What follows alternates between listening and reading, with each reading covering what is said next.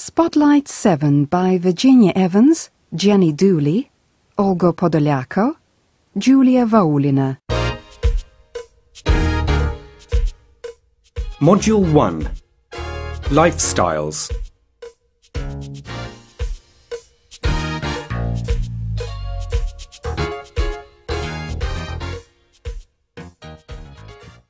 One A A city mouse or a country mouse?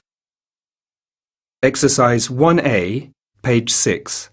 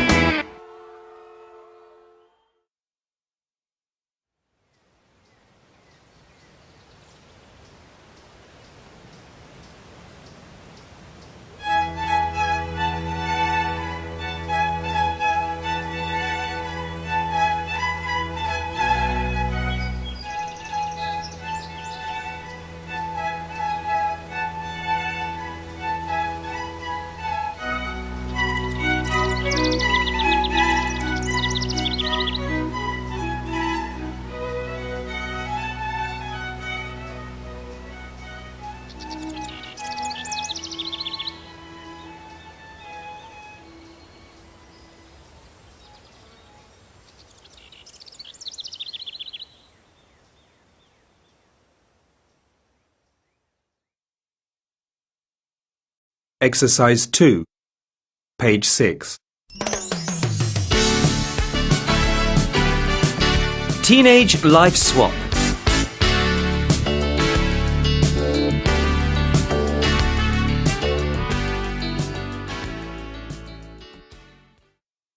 Annabelle and Sarah are guests on a reality TV show. Annabelle lives in London. Sarah lives on a farm in the north of Scotland. They are swapping families and schools for a week. Annabelle, 14.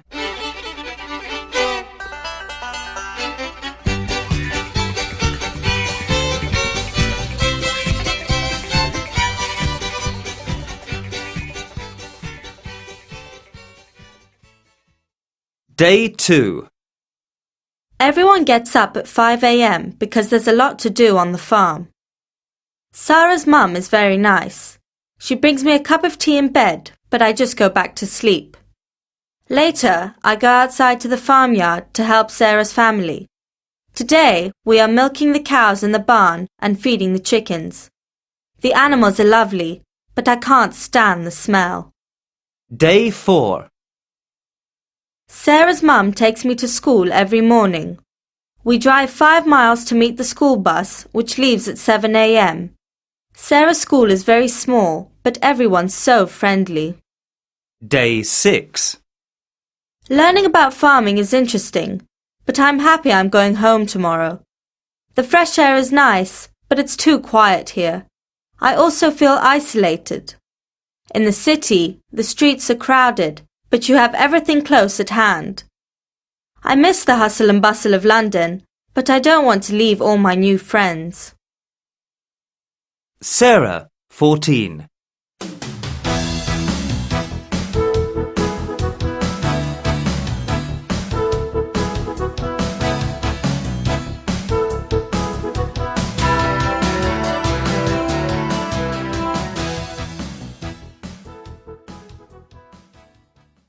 Day 2.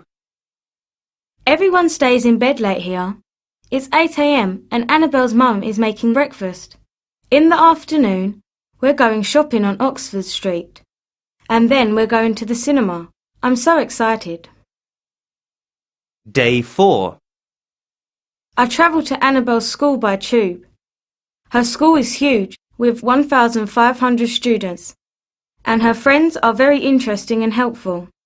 I'm enjoying the lessons, but most of all, I love the facilities. The computer room and the swimming pool are my favourites. Day 6. Today, I'm feeling a bit tired.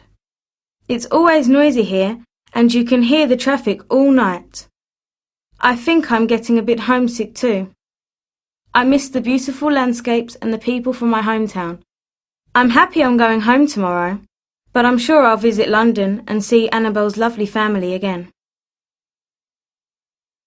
1b. Better safe than sorry. Exercise 2a, page 8.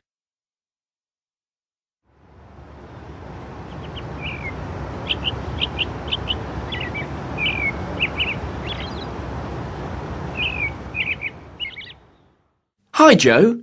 What's your dad doing? He's installing an alarm system. What for? Well, there are burglars around here. They're stealing things from people's houses. Really? Yes, you should tell your parents. You're right. They should probably install an alarm too. And you should be careful with your keys. Don't lose them or leave them near an open window. I didn't think of that. You know, there's a lot of crime in cities these days. I think you're right. We should be careful. Yeah, better safe than sorry.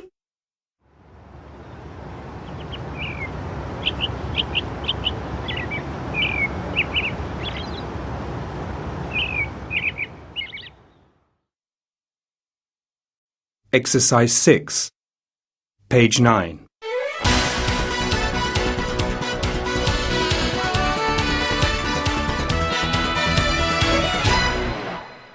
And now to a message from the police to our listeners. The police say that crime is increasing in the area and we should be careful. If you are out at night time, you should walk in a well-lit area. They also say that you should always have your mobile phone with you and call for help if you have a problem. Always keep your money close to you and don't carry a lot of cash unless you really have to. If you have a car, don't leave expensive items and bags for all to see. They are also asking people to join the local neighbourhood watch to help stop crime. And if you don't have one already, you should get a burglar alarm for your home. 1c. Hanging out. Exercise 2b, page 10.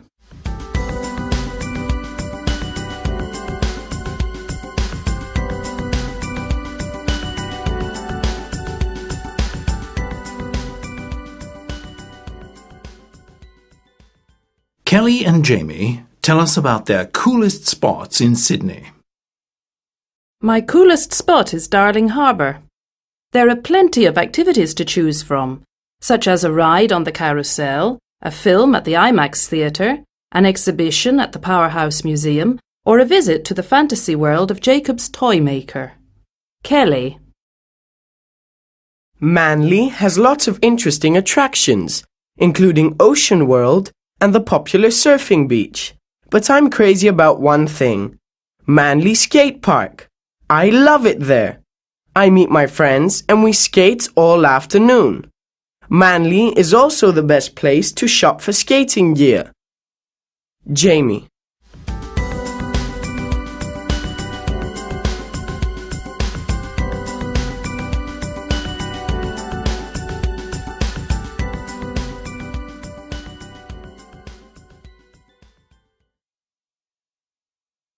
One D. Culture Corner. Exercise 2A, page 11. Landmarks of the British Isles.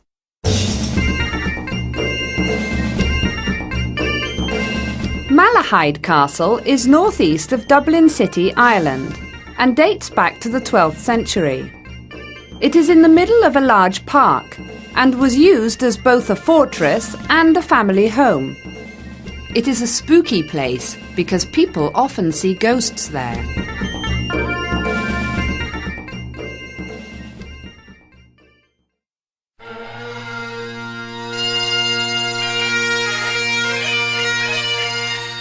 Edinburgh Castle is Scotland's most famous castle. It is very popular with tourists and around one million people visit it every year.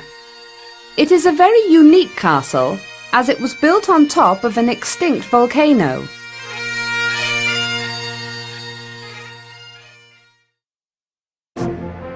Conwy Castle in Gwynedd, Wales is a classical 13th century fortress. It is a masterpiece of medieval architecture that took seven years to build. It has eight big towers that offer great views of the nearby river and the Snowdonian Mountains. The Tower of London sits on the banks of the River Thames.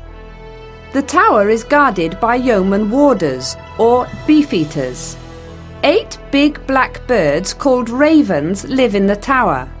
There's a legend that says if they ever fly away, the tower will fall down.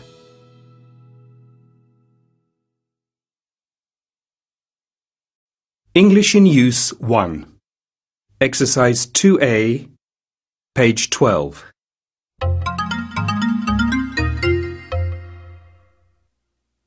Next, please. Where to?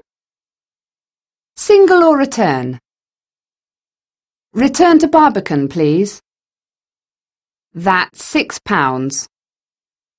Which line do I take, please? You're welcome. Exercise 2B, page 12. A. Next, please. Two tickets, please. Where to? St James's Park. Single or return? Single, please. That's six pounds. B. Yes, please. Two tickets return to Barbican, please. That's twelve pounds. Here you are. Which line do I take, please? Take the circle line. Thanks a lot. You're welcome.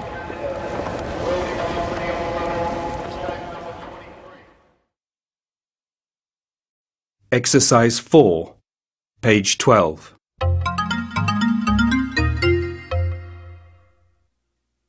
Reading rules. E A double E E Steal Seek I I Nick Pete Pit Peel Pill beat, bit, slip, sleep. Extensive Reading 1. Across the Curriculum. Geography. Exercise 1. Page 13.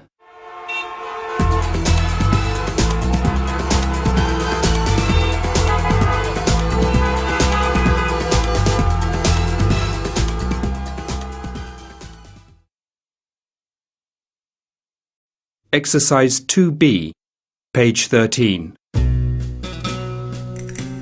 Mexico City. Capital city of Mexico. Continent, North America. Population, 20 million. Language, Spanish. Currency, peso. Tourism. Mexico City is one of the world's largest cities. It has got beautiful old buildings, green parks, museums and an exciting nightlife. It's a great place to visit. Nine million people visit it each year. Homes Many people live in beautiful houses with gardens. Others live in blocks of flats near the city centre. Transport Mexico City is a difficult city to drive in because of the heavy traffic. The city's fantastic metro network, however, has 11 lines and is very cheap. There are hundreds of buses, trolley buses and peseros, minibuses, too. Leisure In their free time, Mexicans shop at colourful street markets. They also enjoy going to the cinema and theatre. They even have street parties. Football and horse racing are the most popular sports. Food. The people of Mexico City are very friendly. The food is excellent too. The restaurants serve delicious local food like tortillas and frijoles, beans.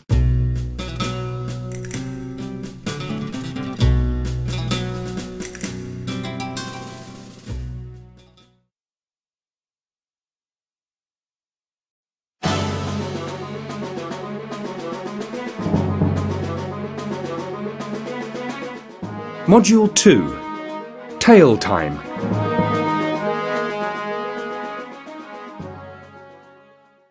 Two A Bookworms. Exercise 2B, page 16.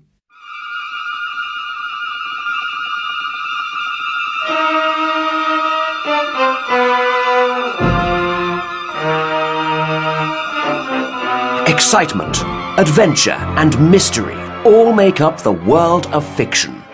And here are some of the greatest names in fiction. Who was the Queen of Crime? Agatha Christie, of course, the world's best-known mystery writer. Agatha Christie was born in Devon, England in 1890, and she created many fictional detectives.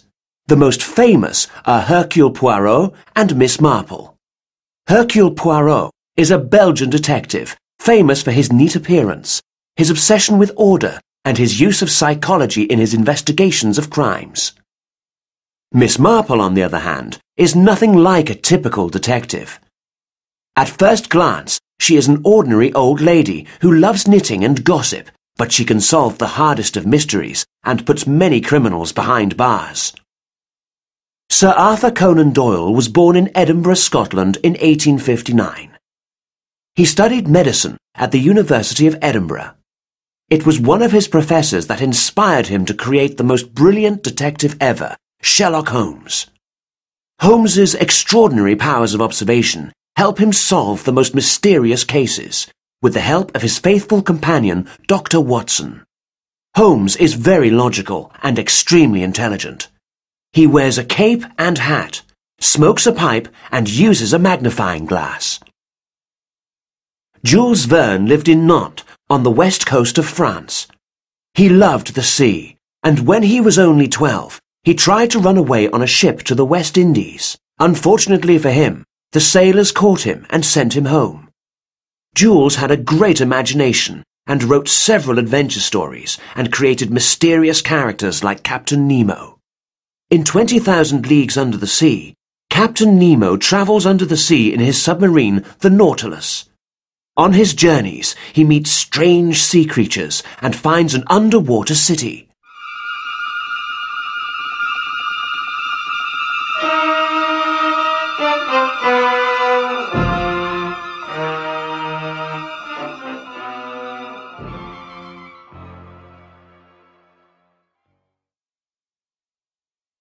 Two B A classic read. Exercise 1 Page 18.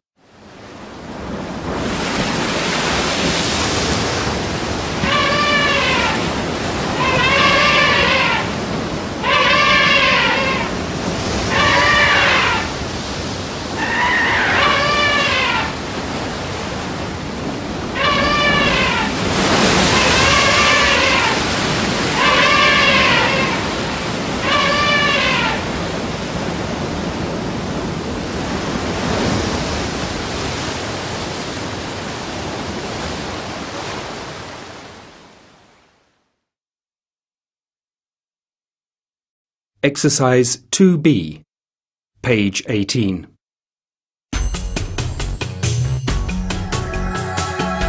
Journey to the Centre of the Earth by Jules Verne is an adventure story about a professor, Otto Lidenbrock, and his nephew Axel. After they find a mysterious message from explorer Arne Saknussemm in an old book, they go on a dangerous journey to look for the centre of the earth. During their adventure, their raft is broken against rocks and they discover an amazing place. While Hans repairs the raft, Axel and the professor look around. Let's explore this area over here. What's that noise? Quick, hide! The men hide behind some bushes. Look, a man and huge elephants. But they used to live thousands of years ago. When we get home, people will be amazed by what we saw. But will they believe us? We must get back to Hans and the raft. Wait, what's this? It's a very old knife. It must be Arne Saknussemm's. The professor finds initials on a cave wall. Saknussemm was here. The compass must be broken. We found it. This must be the last part of Arne Saknussemm's journey. Quick, let's find Hans and come back.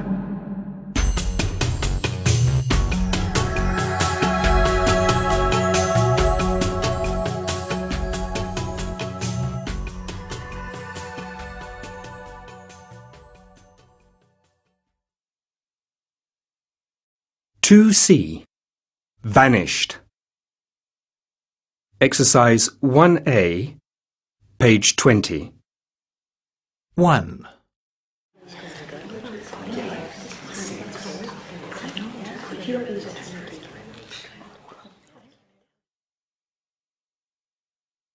Two.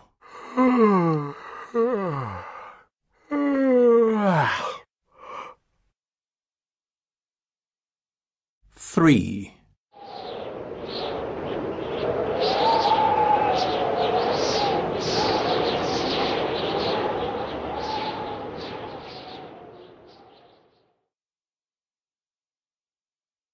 Four.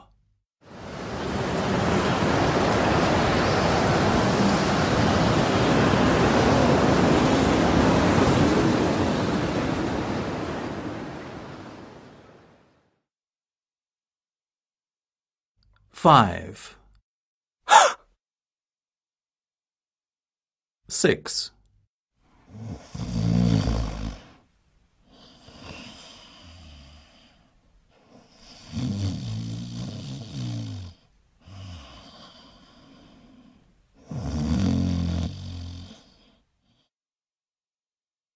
Seven.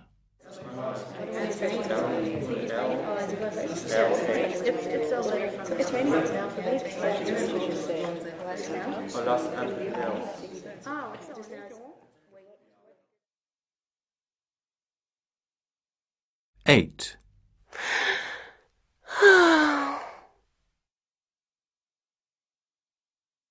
Nine.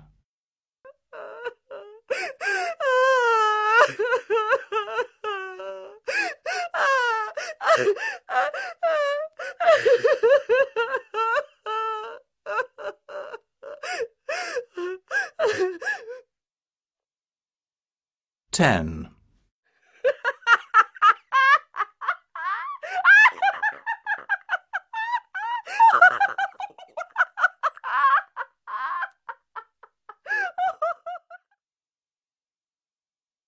Exercise 1C, page 20.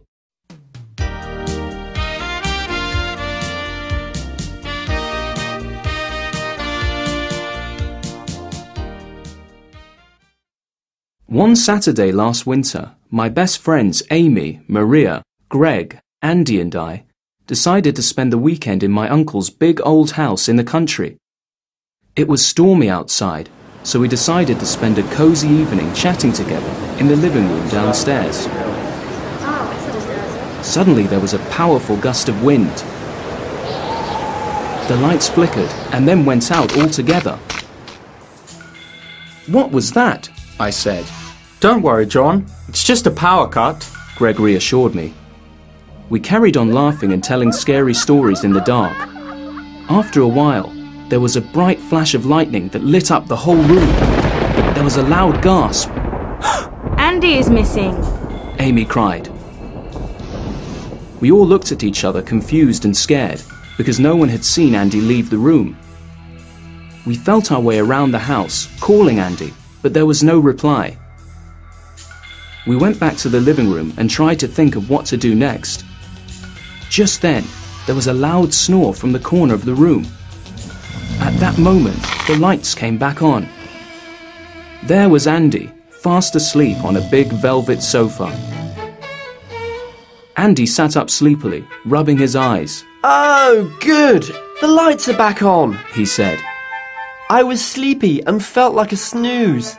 I didn't want anyone to trip over me, so I crawled over here. We were all very relieved. 2D Culture Corner Exercise 1 Page 21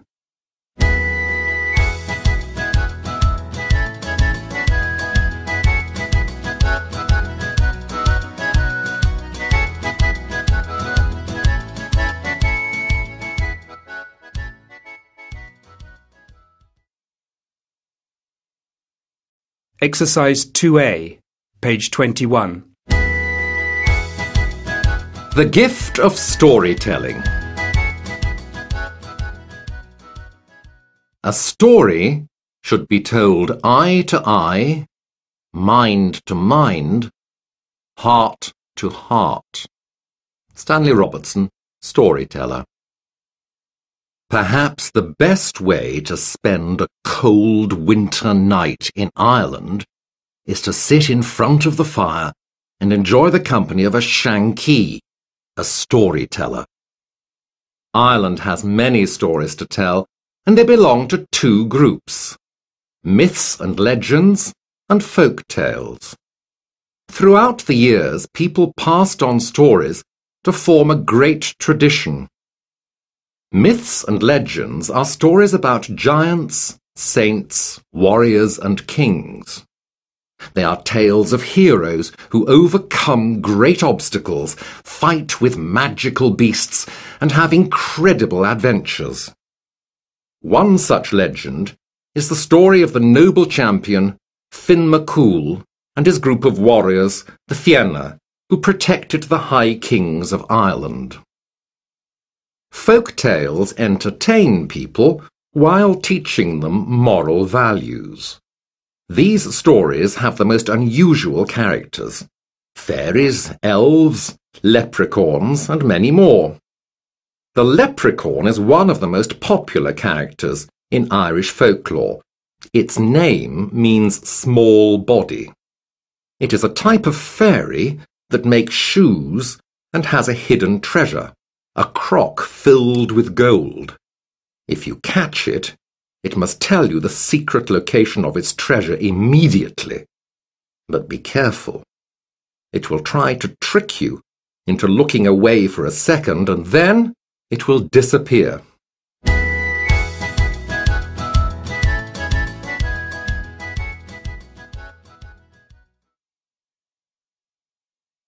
English in Use 2 Exercise 1A, page 22.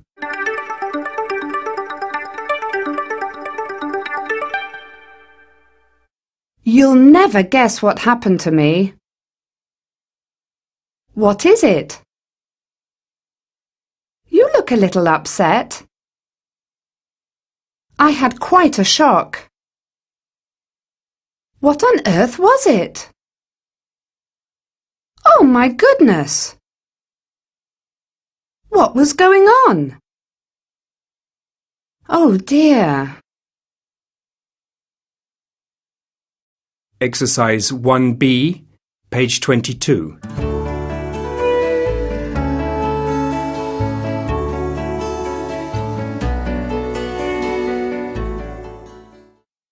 Hi, Penny. Hi, John. You'll never guess what happened to me. What is it? You look a little upset. Oh dear, I had quite a shock. Really? Why? I was at the zoo when I heard people shouting and screaming. What on earth was it? Everyone was around the fountain and they all looked really scared. Oh my goodness! What was going on? Did someone fall in the water? Not someone, but something. There was a long orange snake with black stripes swimming around in it. Oh dear! Was anyone hurt? No, The guards caught it quickly and put it back in its cage. Well, well, well. You don't see that every day, do you? No, you certainly don't.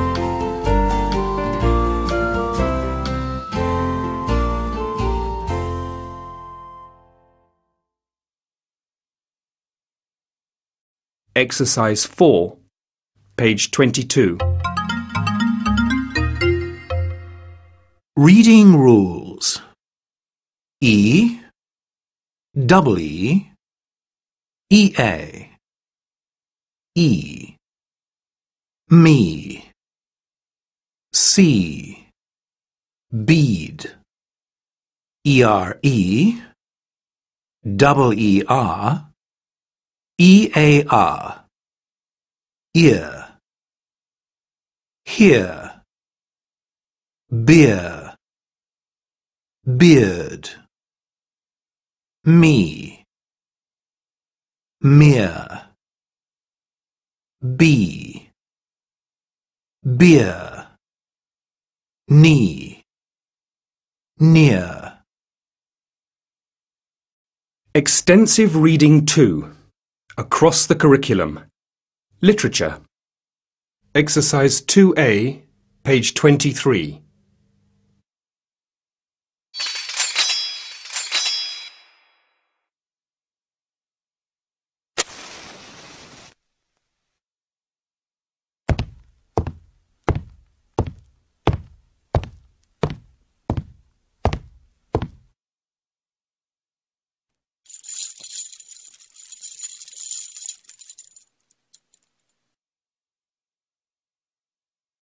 Exercise 2B, page 23. Oscar Wilde, The Canterville Ghost.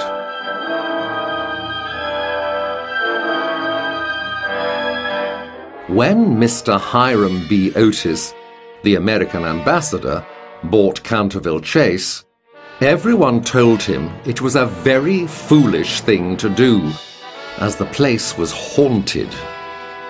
At eleven o'clock, the family went to bed, and by half past all the lights were out.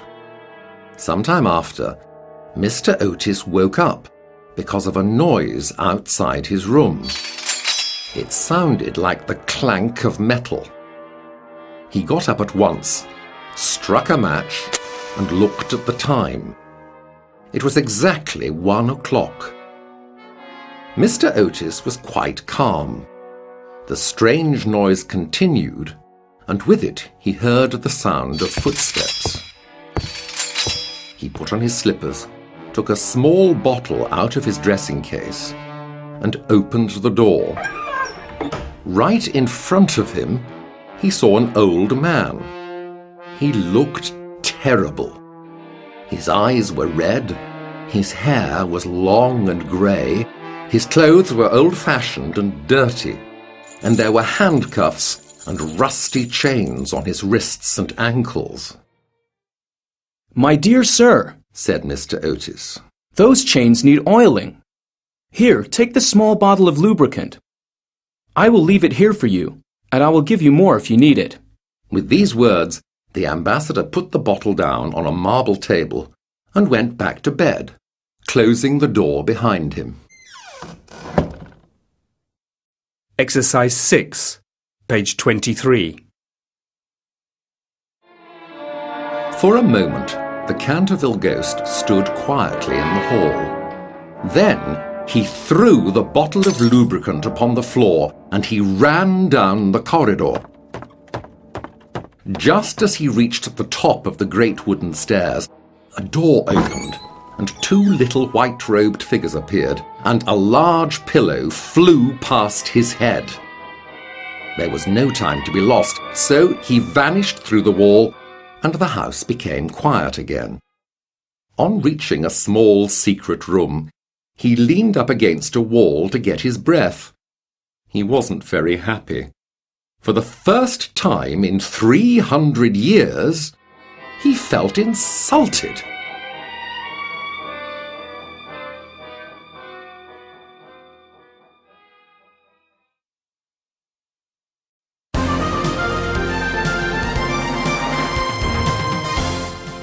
Module 3 Profiles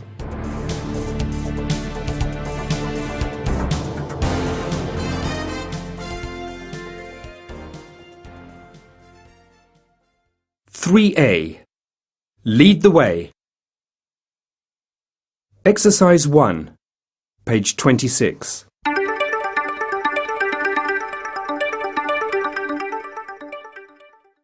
Sewing. Writing stories. Skateboarding. Ice skating. Knitting. Collecting stamps. Playing chess. Boxing. Fencing. Football. Painting. Songwriting. Exercise 3B, page 26. American Teens with Drive.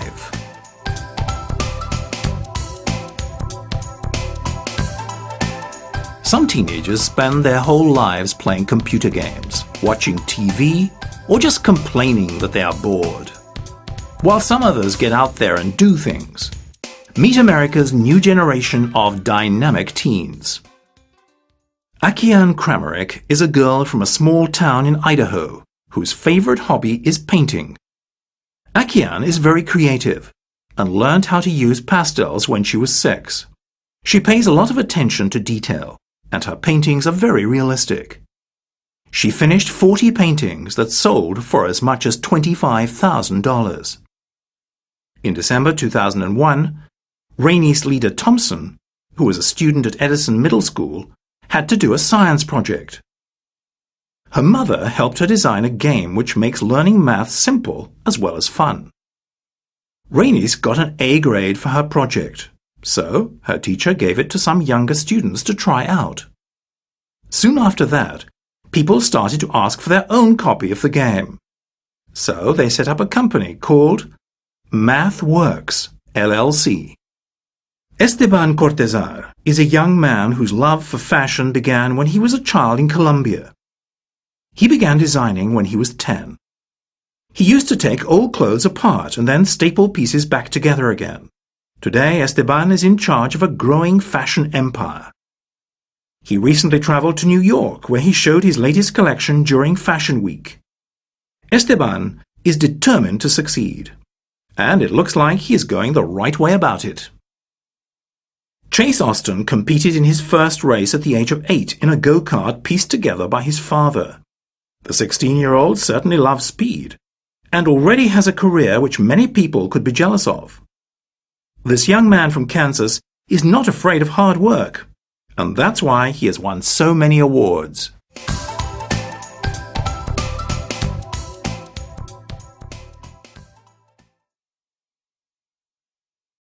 Three B Who's Who? Exercise 1, page 28.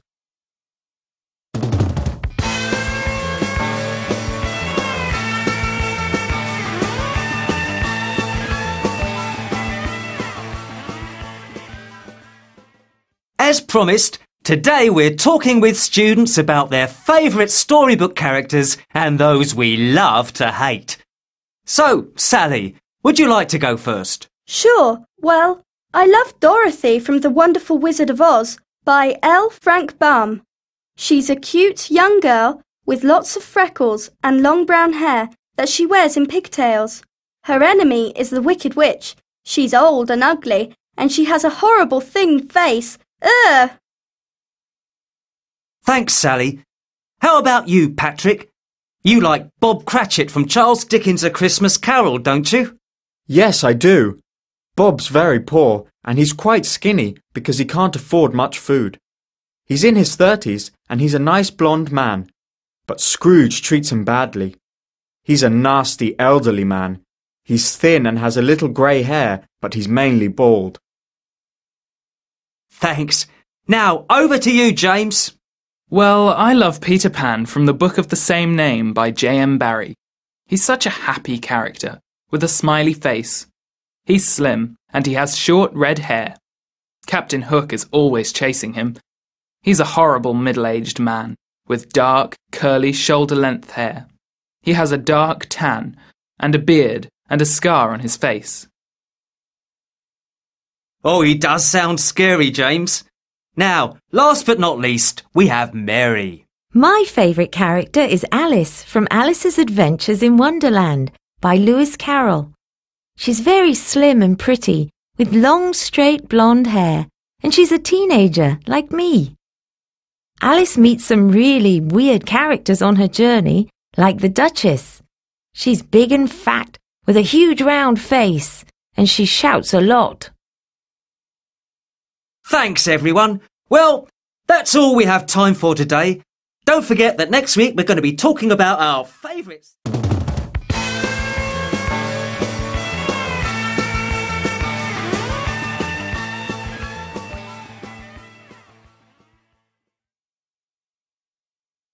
Exercise 3A, page 28.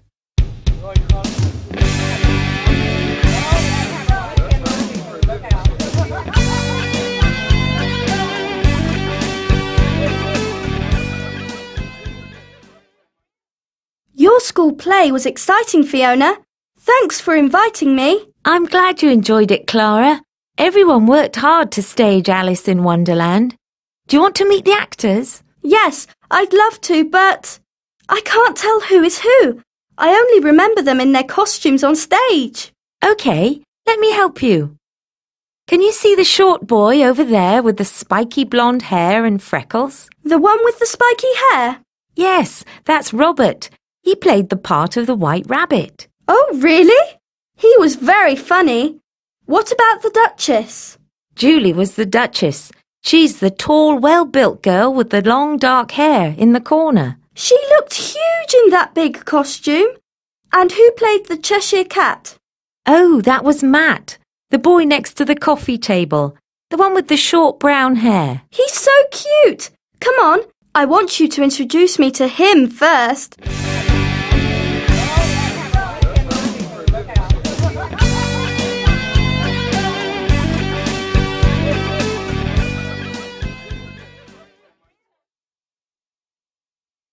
Exercise 7, page 29. 1. What has Mr. Geller got? Have you seen the new maths teacher? The one with the scar on his cheek. No, that's Mr. Green, our new geography teacher. So who's the maths teacher? Mr. Geller. The one with the funny beard. It's not a beard, silly. It's a moustache. 2. What is Lucy's hair like? I like your hair, Lucy. Really? My sister says it was nicer when it was straight. No, I think it's better wavy. Me too. Thanks. 3. Where is Anne going? Anne looks lovely. Is she going out?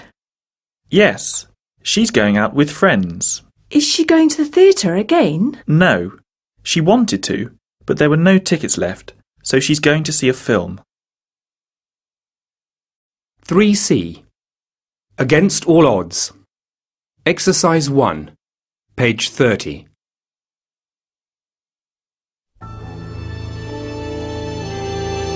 The Person I Admire by Jenny Smith. The person that I admire the most is scientist Stephen William Hawking. He was born on the 8th of January 1942 in Oxford, England. Stephen is famous for his work on the basic laws of the universe. He is also famous for the way he copes with having motor neuron disease, MND. Stephen studied physics at University College, Oxford. He was diagnosed with MND while still at university.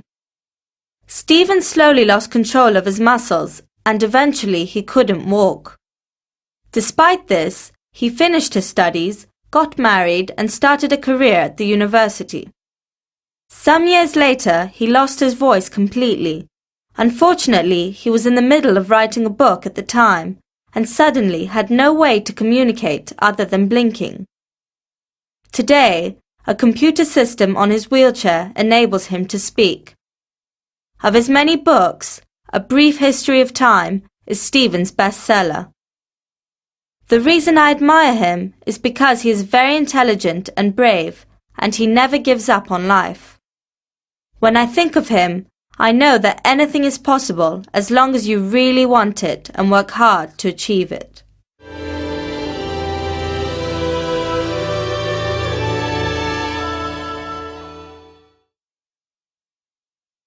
Three D Culture Corner Exercise 2, page 31. The Yeoman Warders.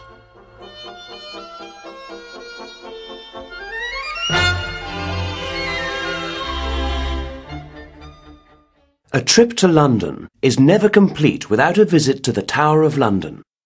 The site dates back to the 11th century and is guarded by the Yeoman Warders, or Beefeaters.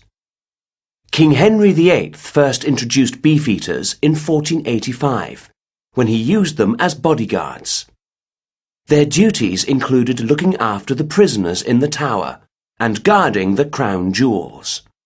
These days, though, their main role is to act as guides for the many tourists that visit the tower every year. They also take care of the eight big black ravens that live in the tower. There are 36 yeoman warders at the tower, and they are all men who were in the armed forces for 22 years or more. They live in the tower with their families.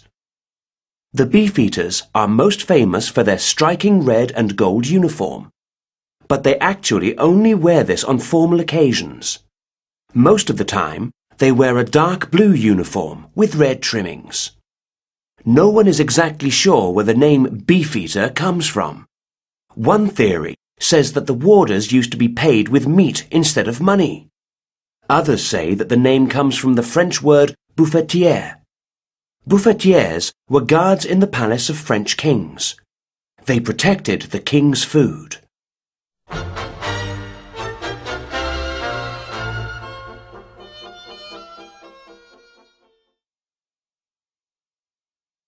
English in Use 3. Exercise 2A, page 32. A. What are your dad's hobbies? B. Not a lot, really. C. No, he's not actually. D. If you say so. E. What does your dad do? F. Yes, it certainly is. Exercise 3, page 32.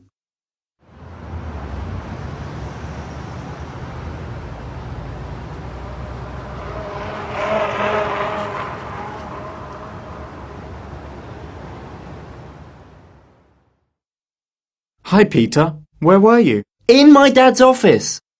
I wanted to give him some papers. What does your dad do? He's a lawyer. Mine is a vet. Wow! It must be very rewarding. Yes, it certainly is. Dad loves looking after the animals. He sometimes brings them home for the night. Goodness me! Does he have any time for hobbies? Not a lot, really. He plays golf every weekend, though, if he has the chance. What are your dad's hobbies? He likes playing board games. Board games? They're a bit boring, aren't they? He doesn't seem to think so. He loves sitting by the fire playing chess. If you say so, but I'm not sure if I agree.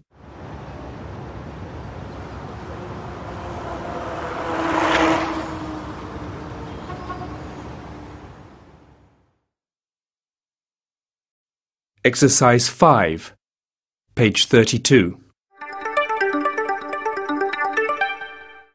Reading rules. E. E. Get. A. A. Glad. Set. Sat. Bed. Bad. kettle, cattle, pet, pat. Extensive Reading 3 Across the Curriculum. History. Extensive Reading 3 Across the Curriculum. History. Exercise 2 Page 33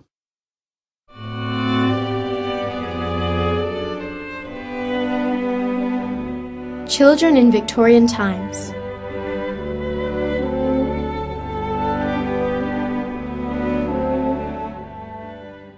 Victoria was the Queen of England from 1837 to 1901. During early Victorian times, poor children worked from the age of five to feed themselves and their families. These jobs weren't easy and were often dangerous. Many children worked as chimney sweeps because they were small and thin. They climbed up narrow chimneys to clean them. Street children or orphans usually did this job. A lot of children also worked in cotton factories. When the cotton threads broke, children went into the machines to fix them. This was very dangerous. Other children worked in coal mines. They pushed trucks of coal or they opened and closed doors to let air through tunnels. The masters were often cruel. Children worked long hours for very low wages. A lot of children had health problems and accidents. Lord Shaftesbury helped to stop adults from using young children at work. He started free schools for poor children. By the end of Victorian times, all children went to school until the age of 10.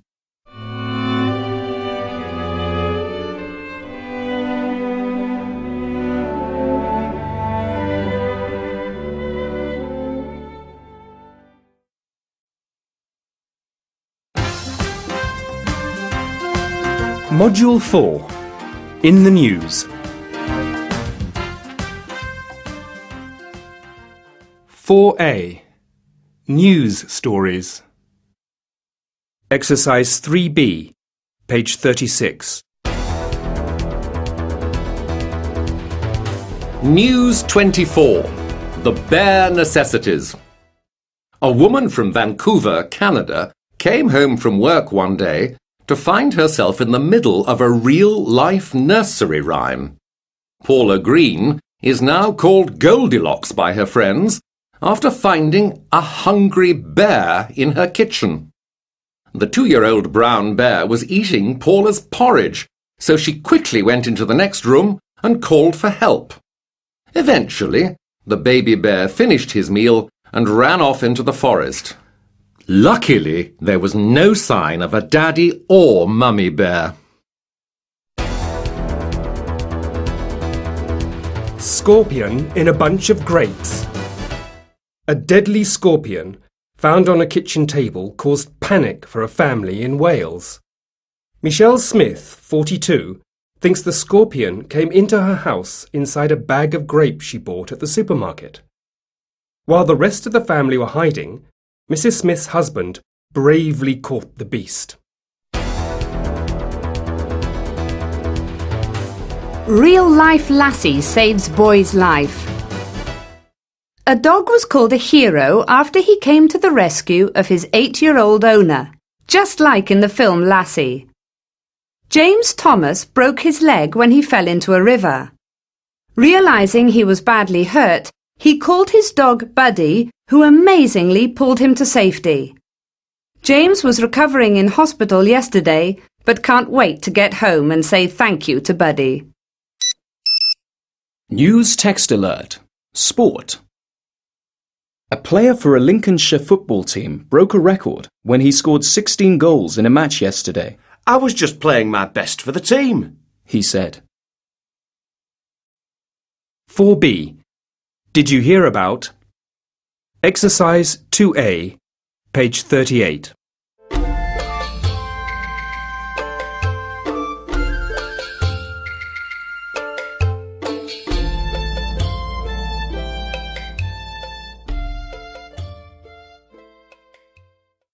Good evening, Mr. Shah. I'm from the Hong Kong Herald.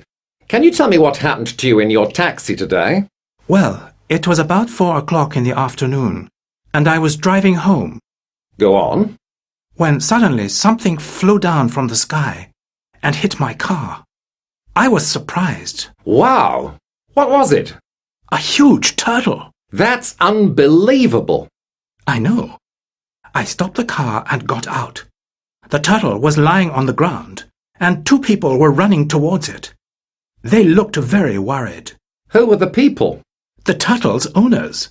It seems that the turtle was crawling on the balcony of their 10th floor apartment when it fell off onto my car. Oh dear, that's terrible. So how was the turtle? And your car? Well, the turtle was fine, but my car was badly damaged. How do you feel now, Mr. Shaw? Well, I'm still a bit shocked. I'm not surprised. What a story, Mr. Shaw. Thank you for sharing it with us.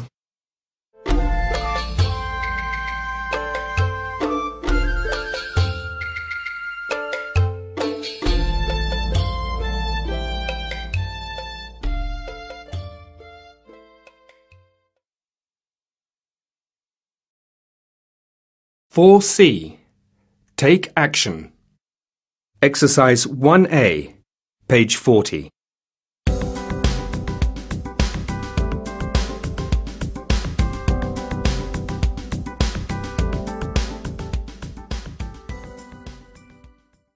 A group of students came up with the idea of making a school club to help save the environment.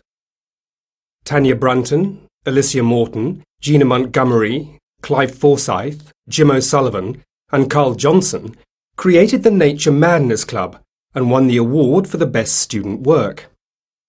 At first, their club only had 30 members, but word soon got around that Nature Madness was fun and less than a month later they had over 300 students. Now, they are thinking of asking for the help of students from other schools. Nature Madness members took part in lots of after-school activities. They took classes to find out about pollution, recycling and conservation. The whole team helped to make the classes more interesting by using pictures and videos and so on. After that, the members organised different events and activities, such as recycling or clean-up days, planting trees, and helping stray animals. The mayor gave each student a gold medal for their good work. Their teacher, Barbara McAlpine, said at the ceremony, I'm extremely proud of my students. They proved that you don't have to wait until you're grown up to do important things.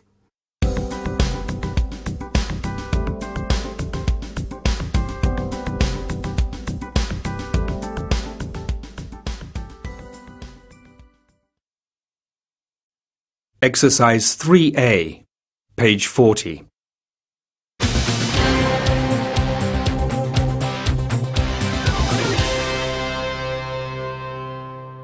And Rovers fans are celebrating all over the country tonight after their team won the national championship for the third time, beating the Reds three goals to one.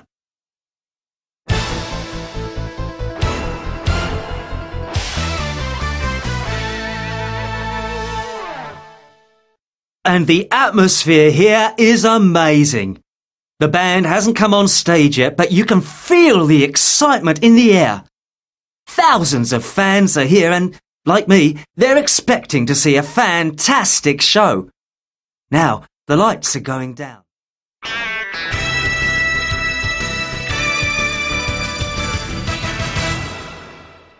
Claudia is wearing a delightful pink summer dress. It's a typical Stefano creation, but it looks like this year's collection is going to be a big success. The audience love it, and the photographers are taking thousands of pictures. Now, here's Kate in an elegant two-piece suit.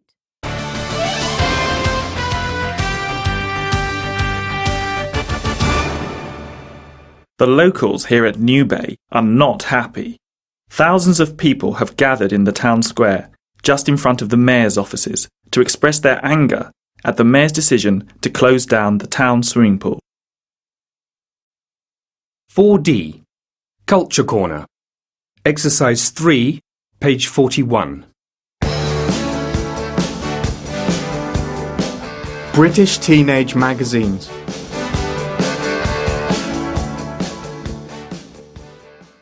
About half of British young people aged 12 to 16 read teenage magazines. Two of the most popular magazines for girls are Sugar and Bliss. They have glossy, colourful covers and include beauty and fashion, celebrity gossip, real life stories, horoscopes, quizzes, and problem pages. Of course, boys don't usually find these magazines very interesting. Instead, they buy music magazines like NME or magazines about sport like Shoot or Match. Usually, teenage magazines contain a lot of language that only teenagers use. They might use celeb instead of celebrity, for example, or fave instead of favourite. They also say lads instead of boys, dosh instead of money, and natter instead of talk to your friends. This makes the magazines more attractive to teenagers and easier to understand. On a more serious note, though, a lot of these magazines can help teens find solutions to problems they don't feel comfortable discussing with their parents. That's why the problem pages in these magazines are very popular. In fact, many teens buy them just for the problem page. How about you? What do you like most in magazines?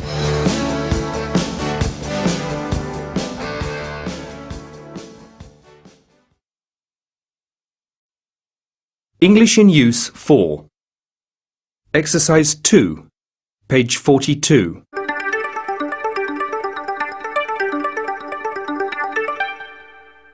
Can't we watch the news? Do you fancy watching it?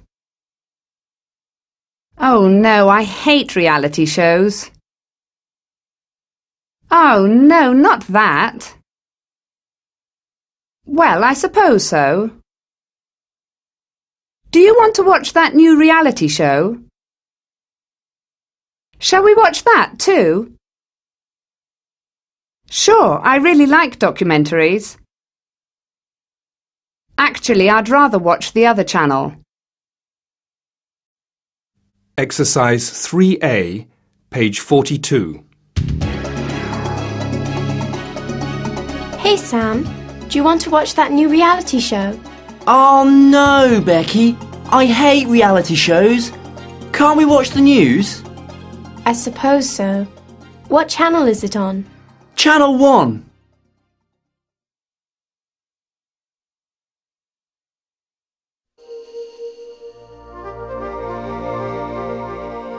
Julie, there's a documentary about dolphins on TV. Do you fancy watching it? Sure, Pete. I really like documentaries. There's a sports program on after. Shall we watch that too? Actually, I'd rather watch Channel 1. Why? What's on? EastEnders, my favourite soap opera. Oh no, not that.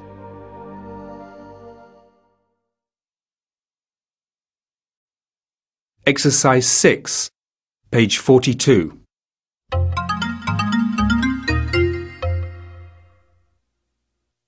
Reading rules. A, A, I, plus R, plus vowel. Air, Mary, Harry, Belly, Harry, Fairy, Marry, Lad, Ferry, Barely, Dairy. Exercise 6, page 42.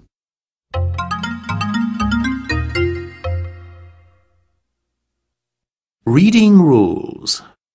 A, A, I, plus R, plus vowel. Air, Mary, Harry, Belly, Harry, Fairy, Marry, Lad, Ferry, Barely, Dairy. Extensive reading 4. Across the curriculum. Media Studies. Exercise 2A, page 43. Turn on and tune in.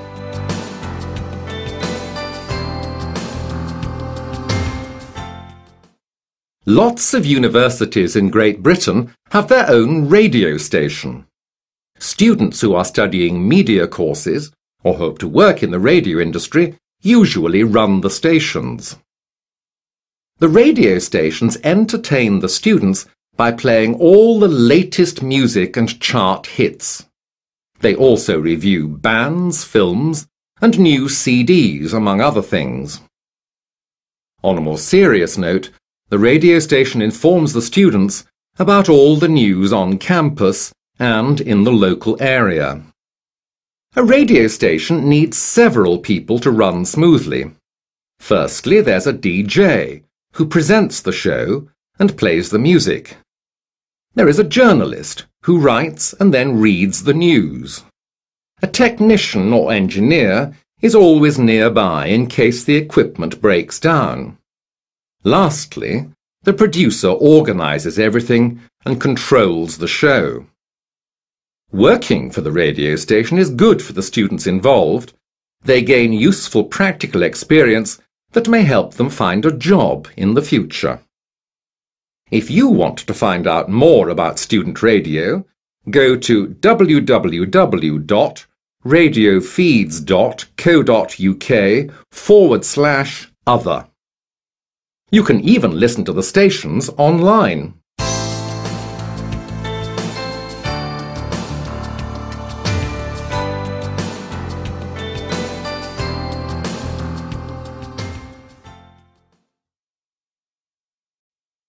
Exercise 4, page 43.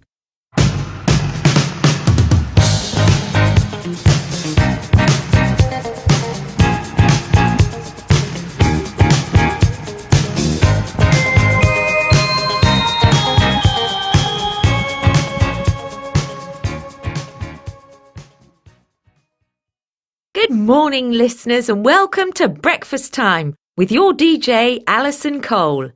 We're coming to you live from the studios of Radcliffe University with the news that matters to you. First, here's a quick update on the big basketball game last Friday against Sutton. Your Radcliffe Raiders are going on to the championship. That's right. We knew they could do it.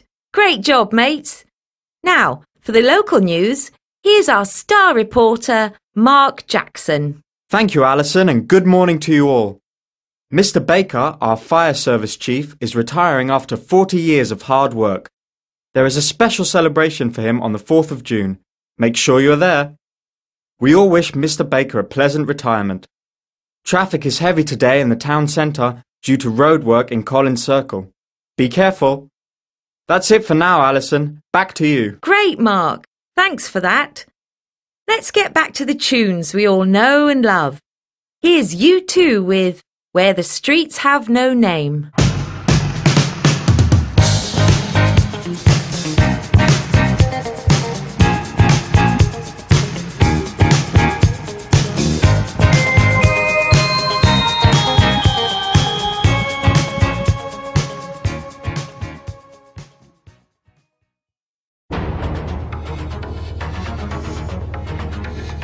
Module 5 What the Future Holds.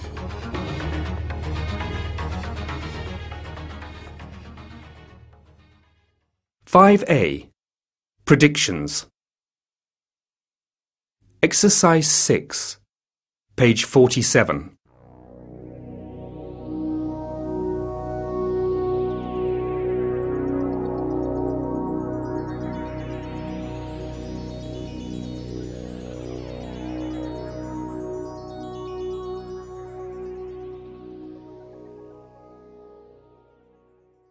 Um, I think the world will be a very different place in 2100. I'm sure that robots will do most of the housework for us so we can spend more time playing and having fun.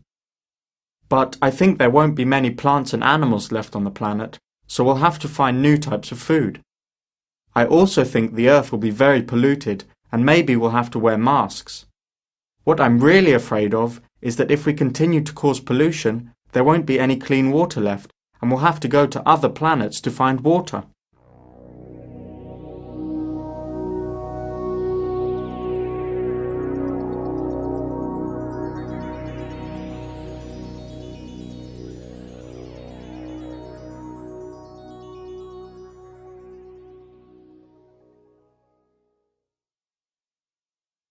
Five B.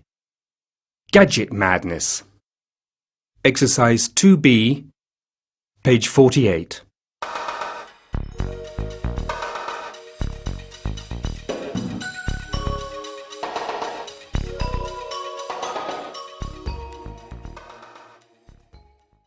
Hey, Bridget! Where are you going? Hi, Chris. I'm on my way to buy a virtual pet. What are you talking about? What is a virtual pet?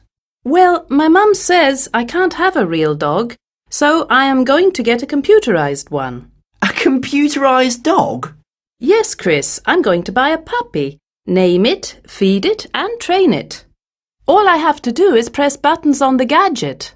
So when your virtual dog is hungry, you press a button that shows you're feeding it? Exactly. There is a button for walking it as well. It will be like having a real dog. Because you have to take care of it every day. Oh, come off it. It won't be like a real pet because it won't show you any affection. Well, you have a point there. Still, I like the idea.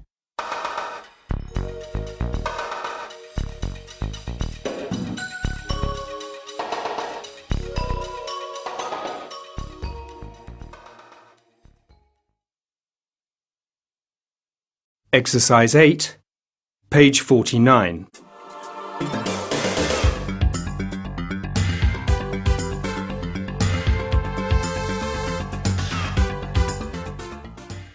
You'll never be alone with the new Vivo 500 Sport MP3 player.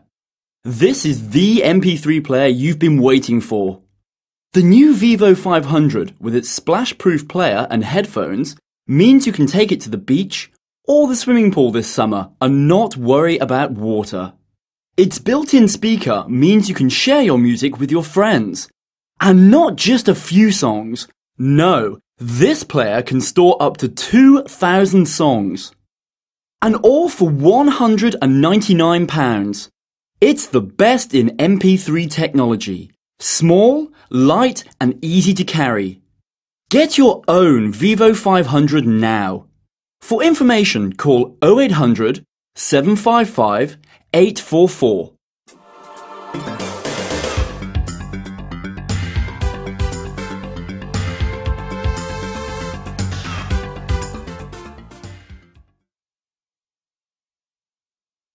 Five C. What's your opinion? Exercise 2, page 50.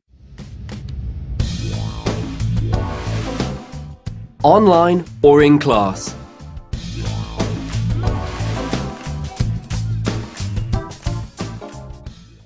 Many people believe that there won't be any schools in the future.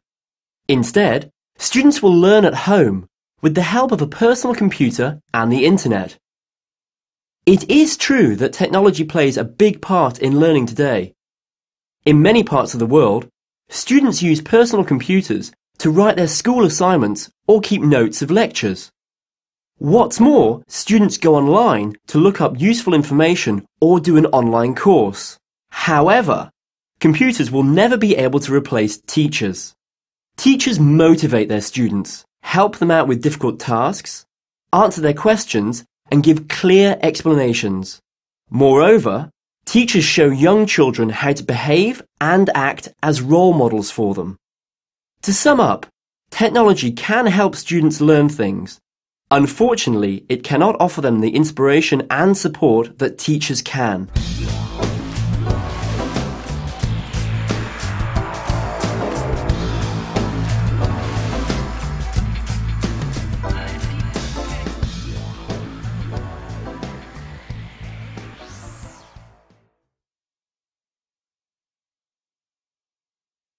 Five D. Culture Corner. Exercise 1, page 51. High-tech teens. Teenagers spend a lot of time in their bedrooms hanging out with their friends. But your average teenager's bedroom has changed a lot in the past few years. Up until recently, teenagers had teddy bears, dolls, sports equipment, tape recorders, board games, and the odd radio in their bedroom. Nowadays, these traditional toys are all but gone, and innovations such as MP3 music players and games consoles are popular instead. A recent survey showed that 7 out of 10 British teens have a TV in their room, and 6 out of 10 have a games console. More than half the children have a DVD player or a hi-fi system, while around 1 in 3 have a digital music player, MP3, or a computer, PC, and 10% of teens have digital TV. So it's not surprising that around a third of the kids have gadgets worth up to £2,000 in their rooms. How do they pay for them? Well, 9 out of 10 of them receive these high-tech goods as Christmas or birthday presents, while others save their pocket money or earn the money through working. Some parents might be shocked to find out that their son or daughter could be sleeping on a gold mine. It seems fair to say that as new technology increases, so does the value of kids' bedrooms.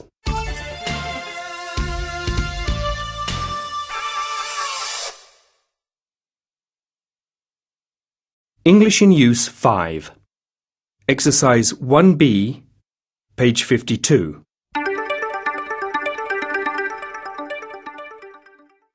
Help me send an email?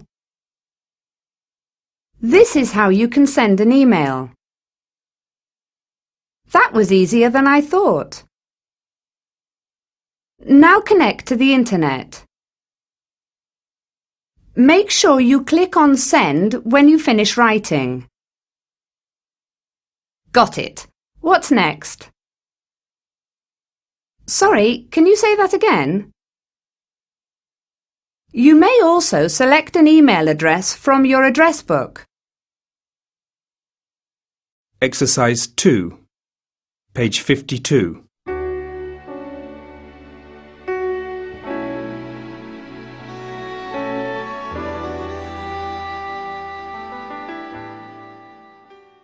Mark, do you have a minute? Sure, what do you need? Can you help me send an email? No problem, Kathy. First of all, turn on your computer. All right. Now connect to the internet. Then access your email account. Got it. What's next? Click on Create a Message and type it in. Make sure you click on Send when you finish writing. Anything else, Mark? Oh yes, include the email address of the person you're sending it to. Thanks, Mark. That was easier than I thought.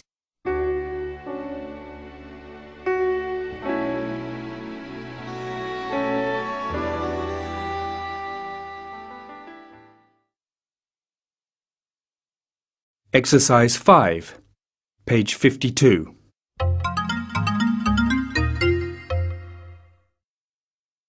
Reading rules. A plus LM SK LF A half.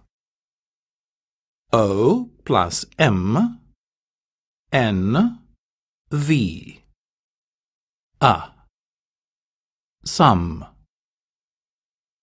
calm come harp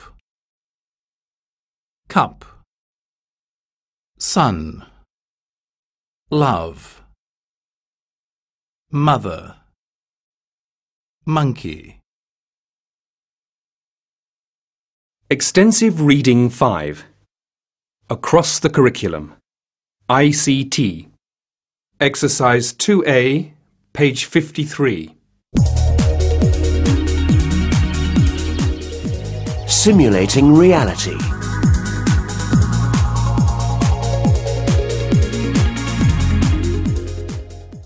Do the names SimCity, The Sims, MS Flight Simulator mean anything to you? Well, they are all popular video games that simulate reality. In SimCity, for example, players have to build a city that looks and functions much like a real one, with houses, shops and factories. However, we don't only use computer simulations for fun. There are many things that we cannot study or test in real life because it would be too difficult or dangerous. Computer simulations make such study and testing possible. In the past, for example, pilot training used to be very dangerous. Nowadays, pilots can practice their skills before they enter the cockpit by using flight simulators. Engineers also use computer simulations to design and test new products before people start using them. They can identify dangerous faults in cars and buildings, for instance, and therefore save lives. With the help of computer simulations, we can develop new things without putting people's lives at risk during real-life testing. They not only provide us with entertainment, but also play an important role in our future.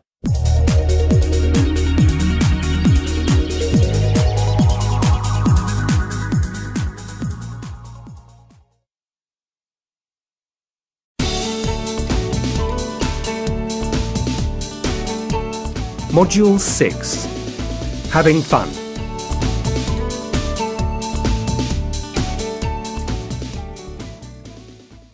Six A. The fun starts here. Exercise 2. Page 56.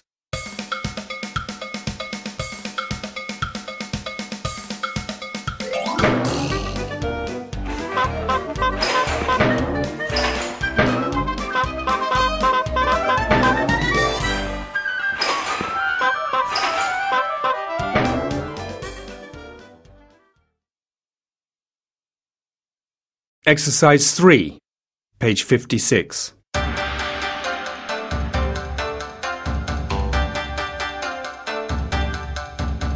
Forget all about your real self and enter the world of fantasy. At Disneyland, Tokyo. Go on the Jungle Cruise, explore tiny worlds, go on a water ride at Splash Mountain, and eat a home cooked meal at Grandma Sarah's kitchen. Before you return to the real world, make sure you have shaken hands with your favourite cartoon characters. You have explored the haunted mansion and you've come across some ghosts. You have flown with Peter Pan in a pirate ship through the night skies. You have ridden the Toontown roller coaster. You have gone on a rocket journey in a starjet.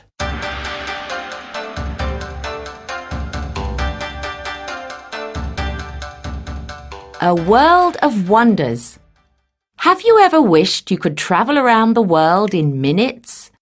Have you ever dreamt of seeing the world's most famous landmarks all in one place? Then visit Tobu World Square in Japan, the most unusual theme park you've ever seen. See more than 100 tiny models of the world's most famous buildings, bridges and monuments. Take a stroll around the Taj Mahal, the Colosseum, the Great Wall of China, and London Bridge. When you get tired of sightseeing, enjoy a meal in a restaurant or go souvenir shopping at World Shoppers Mercado 2. Book now. You've never seen anything like it.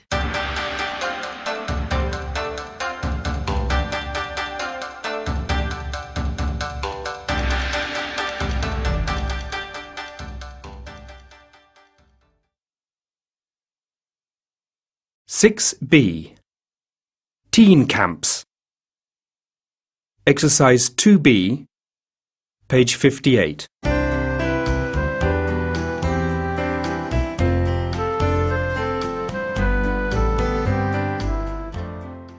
Have you planned your summer holiday yet? Of course. I'm leaving next Monday. Where are you going? My parents have booked me a week at Campbell's Adventure Camp. Adventure Camp? What's that all about? It's a teen camp in Redwood National Park. Wow, you're lucky.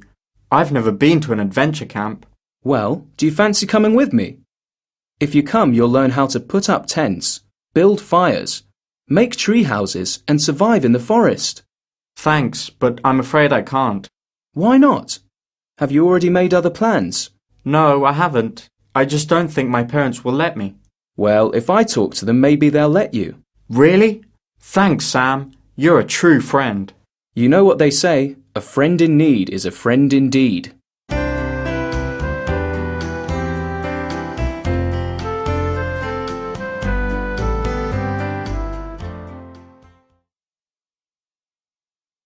Exercise 8, page 59.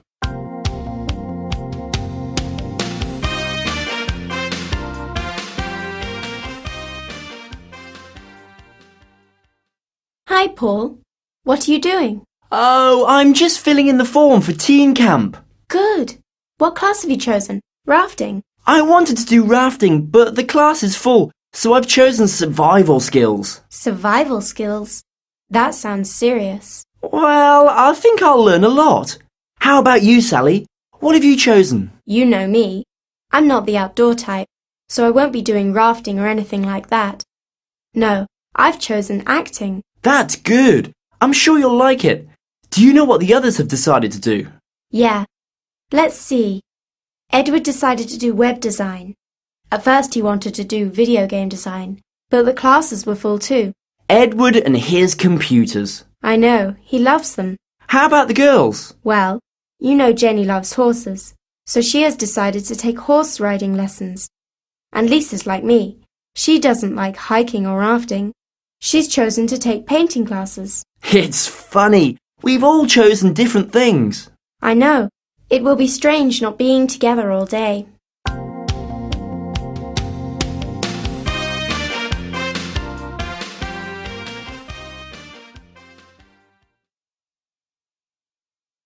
Six C. A whale of a time. Exercise 2, page 60.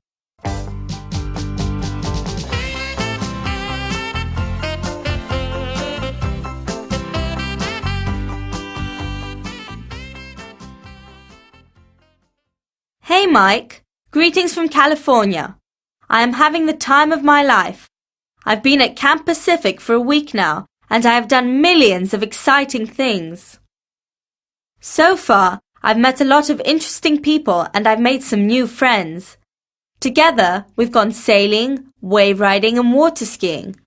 The beaches are fantastic, so we've spent some time sunbathing too.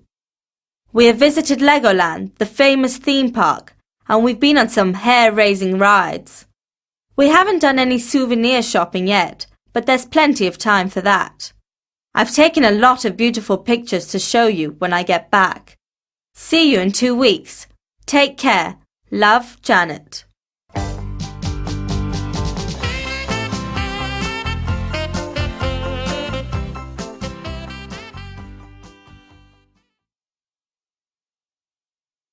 Six D. Culture Corner. Exercise 2, page 61.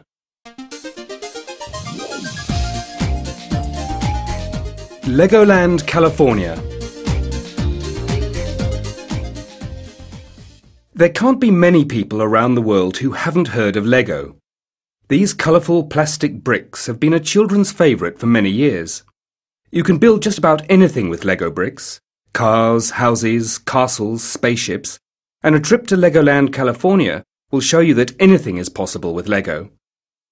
Among the attractions at Legoland, California is Dino's Island, where you can dig for dinosaur bones and fossils, or take a ride on the Coastosaurus roller coaster.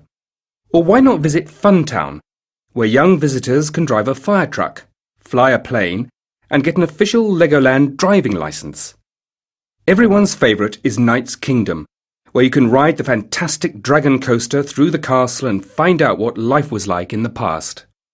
At Explore Village, you can go on an African safari trek and see giraffes, zebras, lions, and other animals made out of Lego.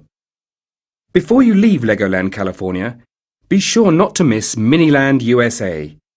20 million Lego bricks form amazing models of American landmarks such as the Statue of Liberty and the Kennedy Space Center. This is certainly one of the most spectacular sights at Legoland, California, and will make your visit here unforgettable.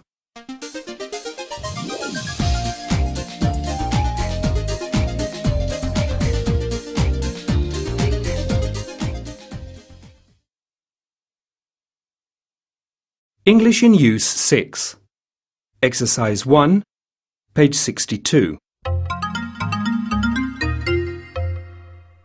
How can I help you? I'd like to reserve a place at your camp. What's your name? And when would you like to come? Are there any specific classes you're interested in taking? I'm afraid there aren't any places left in photography. You need to send a deposit in order to reserve your place. Can I have your email address? Looking forward to seeing you in July. Exercise 2, page 62.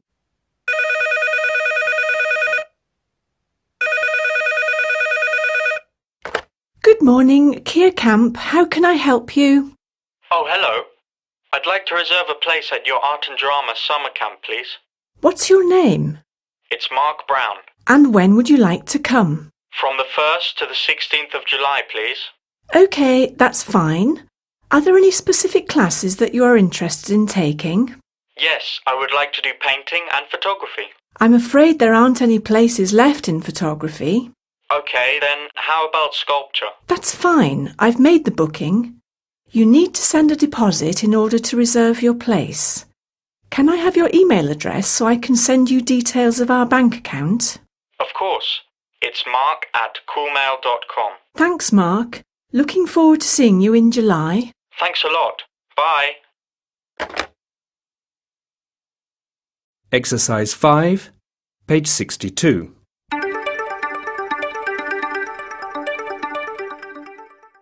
Reading rules.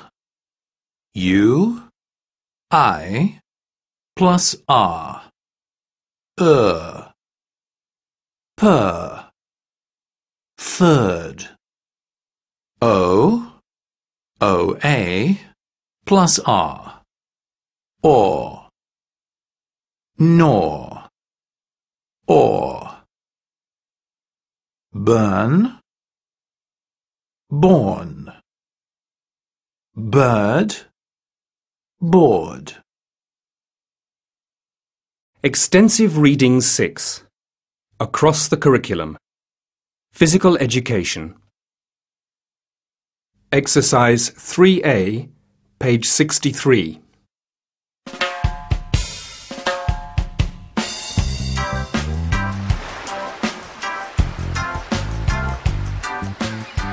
When it comes to sporting activities, swimming in the pool can be great exercise, but also very dangerous. This simple guide will show and explain the rules you need to follow in and around water. Safe splashing. 1. Do not play or run around the pool. The surface is wet and you might slip. 2. You probably know how to swim, but some people don't. Do not push anyone in, because you can put them in danger. 3. You shouldn't eat before swimming, because it can lead to stomach cramps and a risk of drowning. 4. Make sure you know where the lifeguards are and call them if you get into trouble. They are there to save lives, so always do what they say. 5. Always pay attention to the no diving signs around the pool. Only dive in designated areas. 6. Never jump in like this. Dive bombing can be a lot of fun, but it can also put other swimmers in a lot of danger. 7. All pools have rules displayed on signs around the pool. Always read them before you start swimming. They are there to make sure you stay safe. Enjoy splashing.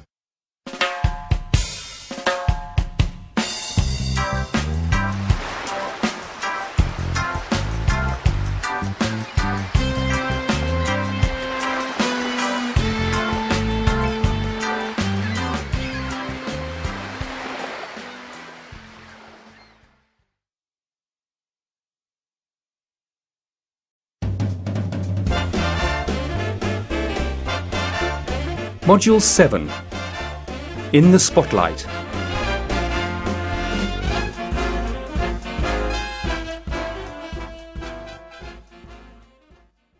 Seven A Walk of Fame. Exercise 2C, page 66. Moving on to the last round now. It's well-known stars. Have your fingers on the buzzers and let's go. Who are we talking about? You have seen her face on the cover of a million magazines. Some say she's one of the most beautiful women in the world. She was born in Germany in 1970 and has one of the longest careers in fashion. Is it A. Avril Lavigne, B. Cameron Diaz, or C. Claudia Schiffer? Yes, Alan. It's Claudia Schiffer. That's right. The wonderful Claudia Schiffer. That puts you in the lead again, Alan. Come on, guys. You'll have to be quicker on the buzzers. He's one of the most handsome men in film. This blonde-haired, blue-eyed boy is from England. You may know him from his roles in The Aviator and Cold Mountain. Is it A. Jude Law, B. Bruce Willis, or C. Brad Pitt? Jude Law. Yes, it is, Sandra, and that's two points for you. The clock is ticking, so let's move on. He's one of Russia's most successful athletes. He started skating when he was four. One of his greatest achievements so far was winning Olympic gold in 2006. It is A. Evgeny Plushenko, B. Mikhail Baryshnikov, or C. Alexei Smertin. Evgeny Plushenko. You are fast, Alan. And yes, you're right. That really does put you ahead now. Danny, you're a bit behind. You'll have to be quicker. Okay, everybody ready? He's most certainly funnier than your average guy. He's a comedian, actor, and director. If the films Meet the Parents and Zoolander are in your DVD collection, you'll know who we are talking about. Is it A. Ben Stiller, B. Tom Cruise, or C. Adam Sandler? Yes, Danny. Is it Adam Sandler? Oh no, I'm sorry, Danny. It's Ben Stiller. Great film, too. Not to worry, Danny. Now, it's almost time, but we have time for another question. He is one of Russia's most talented performers. He won the BBC Singer of the World competition in 1989, and since then his career just keeps getting better and better. Ready?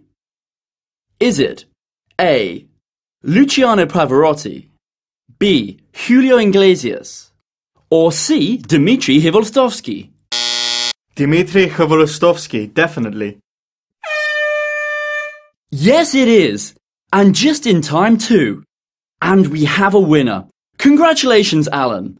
And next up tonight. Exercise 6, page 67.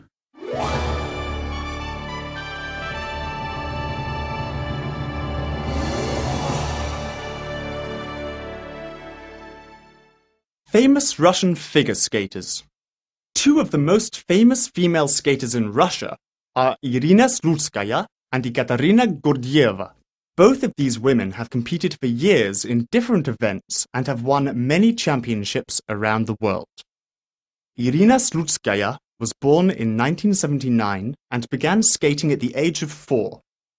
She quickly became a champion in women's singles skating. She has won a record seven European titles and two world titles so far. As people say, Slutskaya is the most talented jumper of all the female athletes in the world. She was the first woman to land a triple triple jump in competition. Ekaterina Gordieva is probably the most loved female skater in Russia. Born in 1971, she also began skating at the age of four. Gordieva was not as successful as a single skater and became a pairs team with Sergei Grinkov. They won two Olympic gold medals and four world championships. Sadly, her career in pairs skating ended when her partner and husband Grinkov died from a heart attack at the age of 28.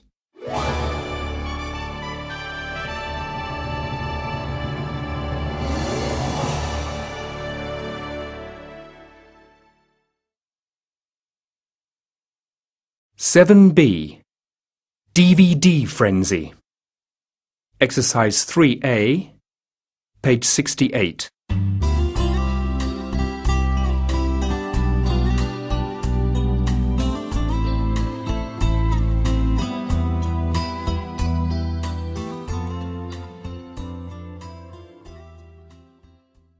Hey, Adam, I found a great film for us. About time. We've been here for hours. Which one? Mrs. Doubtfire with Robin Williams. That's the funniest movie ever, but I saw it last weekend. Sorry. Oh no! Any other suggestions then? Hmm, let's see. How about The Sixth Sense? It's the creepiest thriller of all time, according to the critics. I don't like thrillers. I'd prefer something with more action. Well, do you fancy a fantasy film? Like Lord of the Rings? They say it's got the most stunning action scenes ever. Okay, that sounds good.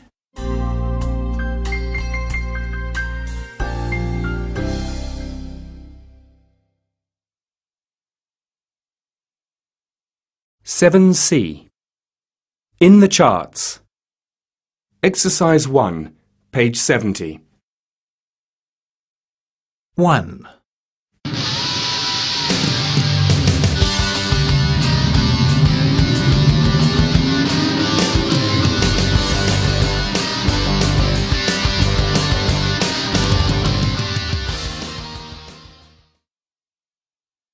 Two.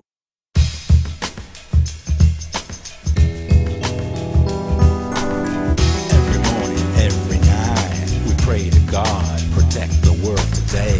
Bless the children, keep them safe, for the innocence and love of truth must not be dissuaded.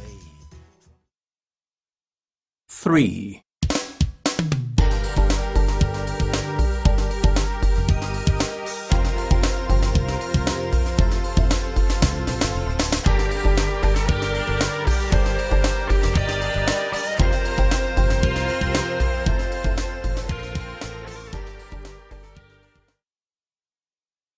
Four.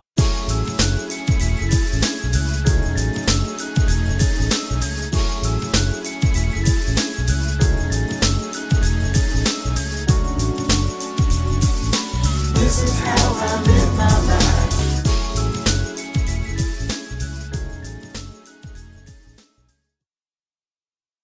Five.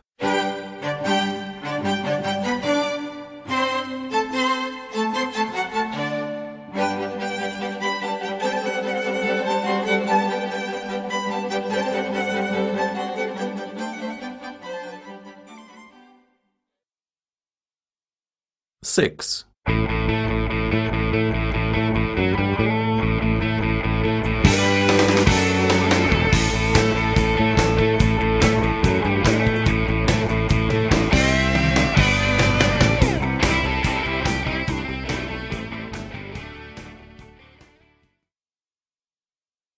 Seven.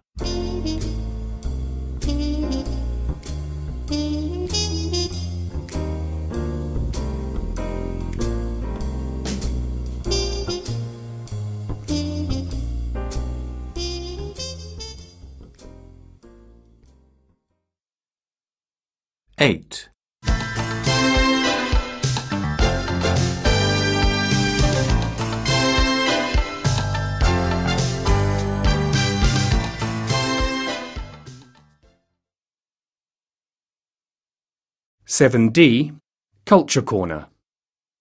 Exercise 2B, page 71.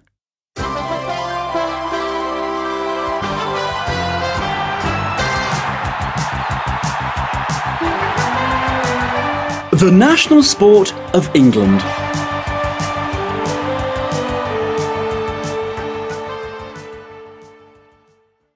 Football is the most popular sport in England. In fact, a lot of English people say it is their national sport. English people have played football for a very long time. However, The game didn't have any real rules until the 19th century. In 1815, Eton College created rules to make the game less violent, and later in 1848, Cambridge University made many of the modern rules. Football quickly became as popular as other games, such as cricket. Today, there are thousands of football clubs in England, and professional clubs such as Arsenal, Liverpool, and Manchester United are famous all over the world. Football has become part of the cultural life in England, and hundreds of thousands of fans support their favourite teams in stadiums around the country every weekend. Many English children have football lessons at school, and famous footballers such as David Beckham and Michael Owen have become role models for a lot of these children.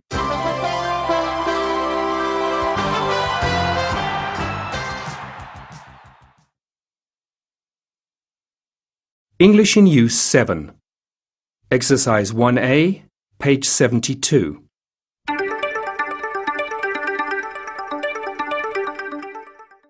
Next, please. Two tickets for King Kong at 6 p.m., please. I'm afraid it's sold out. Two tickets for 9 p.m. then, please. Is that for the 7 p.m. or the 10 p.m. showing? That's £12 altogether then. Is there a discount for students? Here are your tickets and your change. Enjoy the movie. Exercise 1B, page 72. Next, please. One adult and one child for Harry Potter, please. Is that for the 7pm or the 10pm showing? 7pm, please. That's £12 altogether then. Here you are. Thank you. Here are your tickets and your change. Thanks.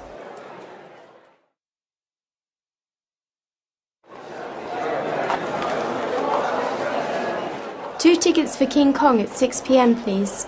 I'm afraid it's sold out. Oh, right. We still have tickets for the 9pm and the 11.30pm showing. Oh, okay. Two tickets for 9 pm then, please. That's £14, please. Is there a discount for students? Yes, tickets are £5 for students. Okay, here you are. Thank you. Enjoy the movie.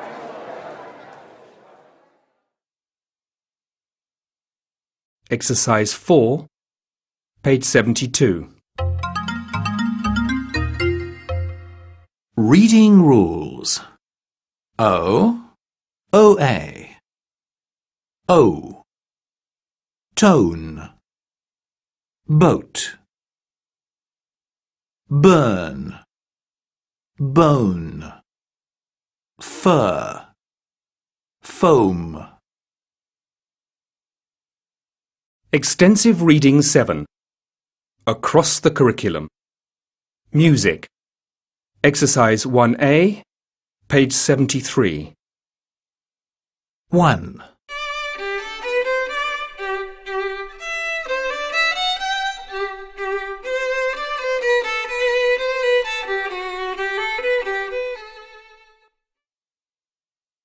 Two.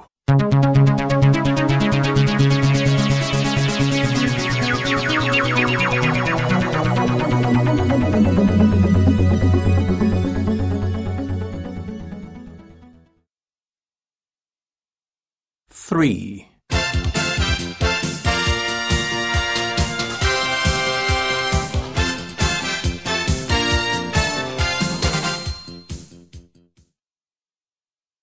Four.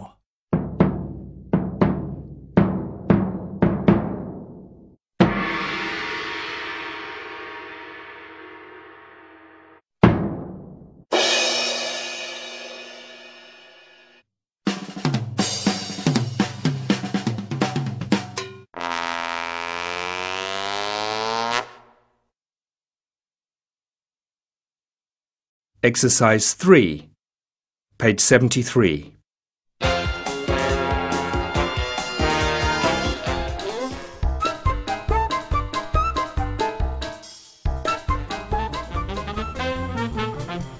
Does this sound familiar?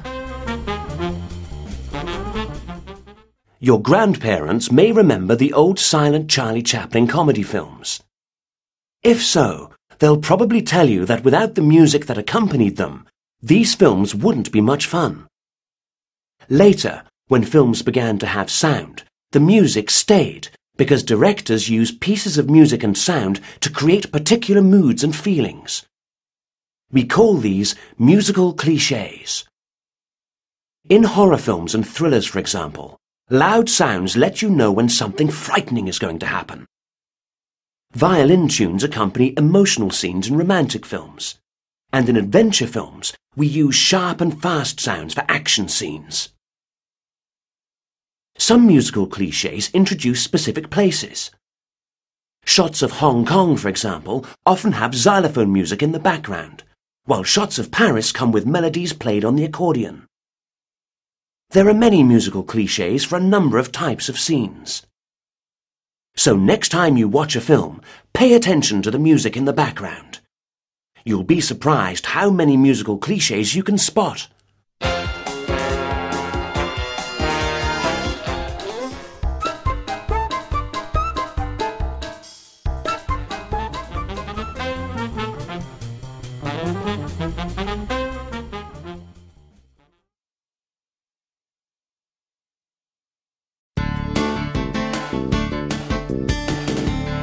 Module 8 Green Issues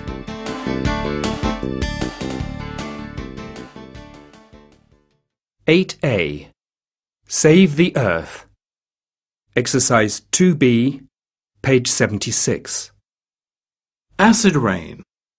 1. The problem. The problem starts here. Cars burn petrol, factories and power stations burn coal, and emit toxic fumes. So the air that we breathe becomes polluted. 2. Air pollution and acid rain. This pollution is gathered in clouds, and with the oxygen and water in the atmosphere, it becomes acid. The winds carry the polluted clouds across long distances far away. When it rains, this pollution lands on trees, houses, buildings, cars, clothes, everywhere. This is called acid rain. But there is actually acid fog, snow, and sleet in the same way. 3. Water and soil pollution. When acid rain falls into lakes, streams, rivers, and seas, they become toxic. This is water pollution, and it harms, kills, or wipes out fish and plant species. When acid rain flows through the soil, it poisons trees and plants. Acid rain also causes serious damage to important buildings and objects. 4. Good news. The good news is that governments have been trying to reduce the air pollution that causes acid rain. Some industries have been using new technologies for some time to help make factory smoke less harmful to the environment. But we need to do more. We can help reduce the amount of acid rain by using our cars less, or by using solar power to heat our homes.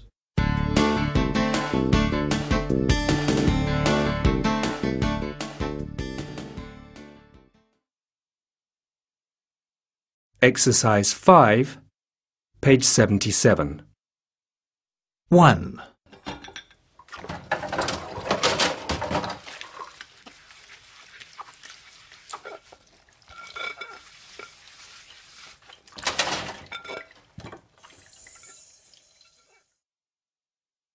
Two.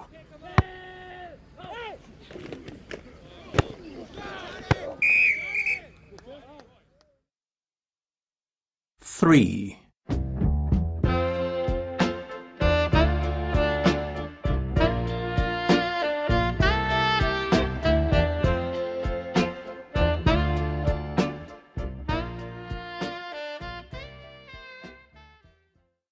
Four.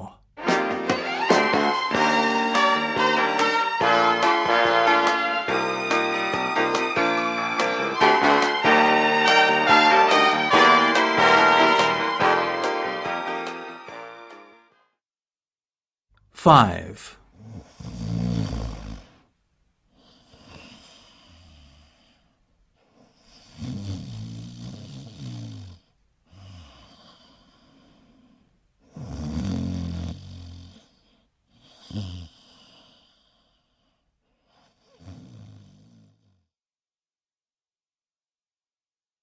Eight B.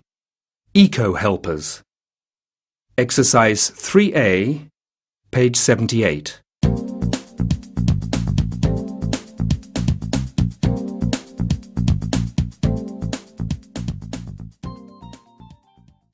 Hi, Tim, what's up?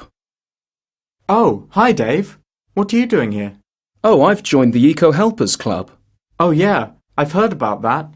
Sally collects rubbish for recycling in the park every Saturday morning, doesn't she? That's right, she's been doing that for a month. I've been building nesting boxes. Nesting boxes? Well, there aren't many trees left in the city for birds to build their nests. If we don't help them, they will have to leave the city. That's interesting. What else have you been doing? We've been planting trees and cleaning out ponds for a week now that the weather's good. Your club sounds wonderful. I could join as well, couldn't I? Of course you could. We really need volunteers, but you have to see Miss Jackson first. She'll tell you what to do. Sounds great. I'll join first thing Monday morning.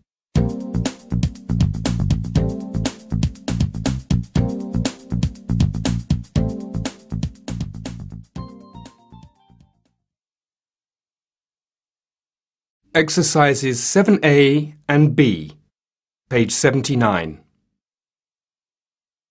1. She isn't here, is she? 2. They're late, aren't they? 3. He arrived yesterday, didn't he? 4. She is sleeping, isn't she? 5. We can't go, can we? 6. She hasn't left, has she? 8C Born Free Exercise 3A, page 80.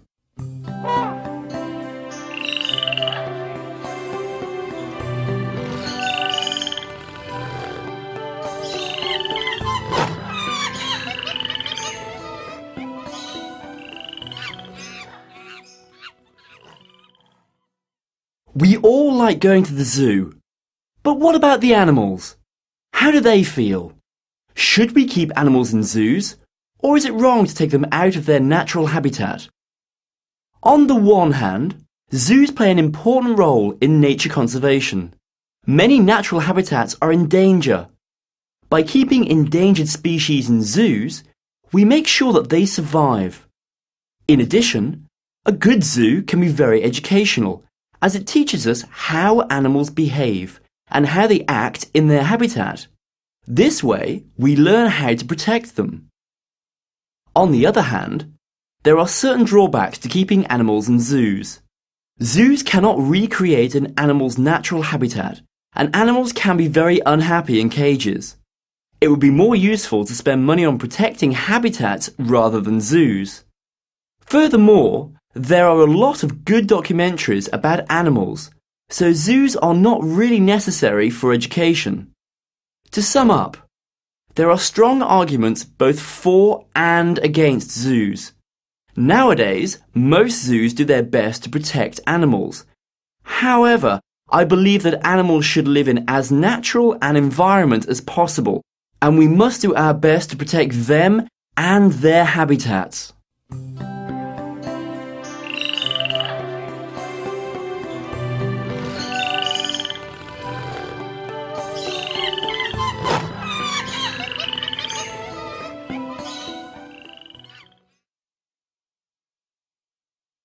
Eight D Culture Corner Exercise 1, page 81.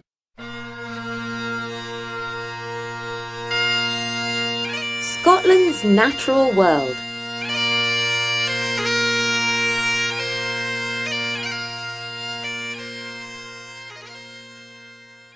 Experience the amazing sights and sounds of Scotland's natural world. Scotland's National Nature Reserves, NNRs, are magical places open for everyone to visit and enjoy. They protect spectacular wildlife and landscapes, including many rare species and habitats. Here are just a few of Scotland's 71 beautiful reserves.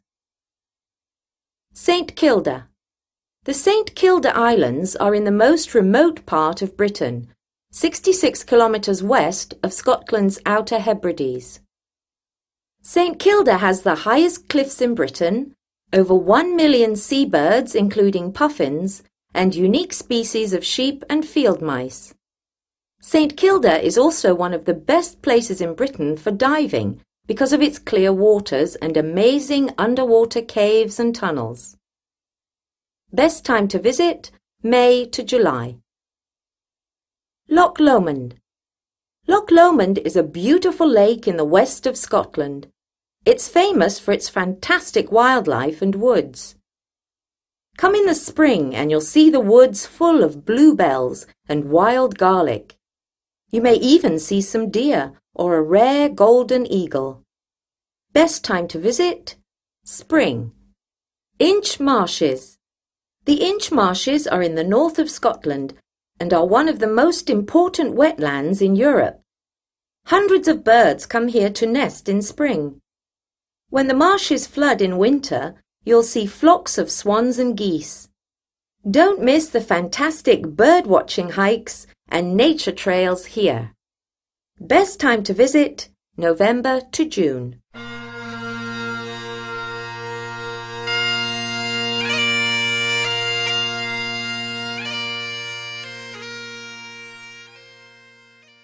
English in Use 8.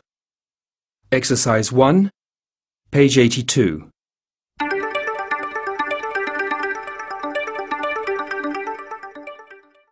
How can I help? I'm interested in making a donation. A monthly donation, please. Would you like to become a member? How much does it cost? How can I pay? Could I take your name and address, please? Exercise 1, page 82.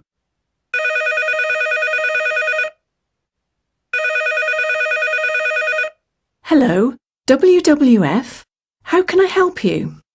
Hi, uh, I'm interested in making a donation. That's great.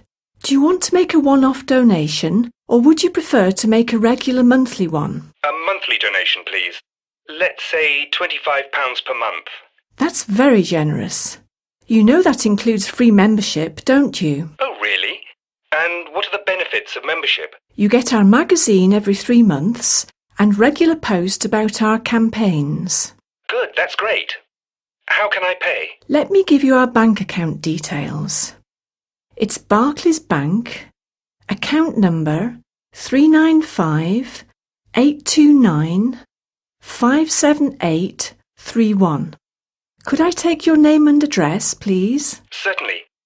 My name's Matt Russell, and I live at 34 Scarsdale Road, Bromley, Kent.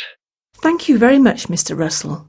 You'll receive the latest issue of the WWF magazine and a welcome pack soon.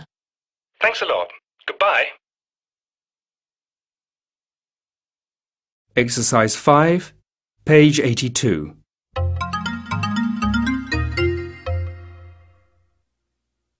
Reading rules. Y, I-E, I. I. Shy. Die. Time. I-R-E. Ire. Tire. My. Mine. Tide. Tired. Pie. Fire. Why? Higher. Extensive Reading 8. Across the Curriculum. Science. Exercise 3. Page 83. The food chain.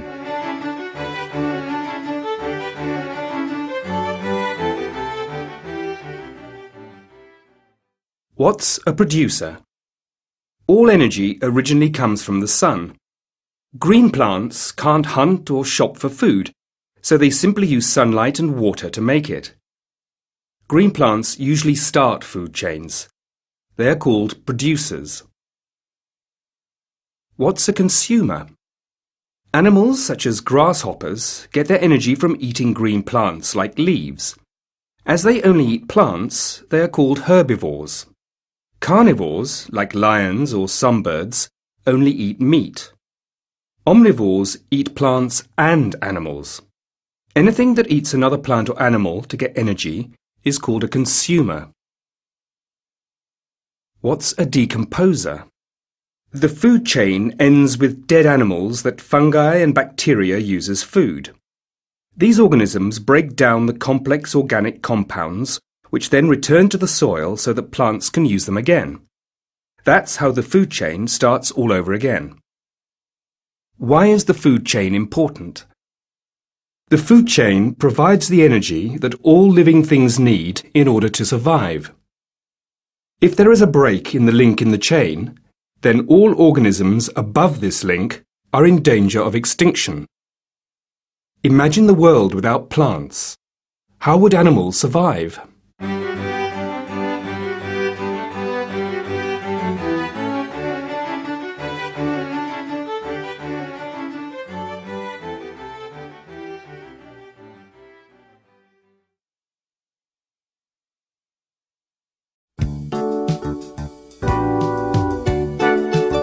Module 9 Shopping Time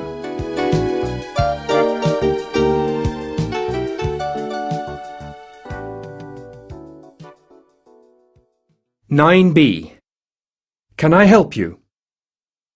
Exercise 3A, page 88.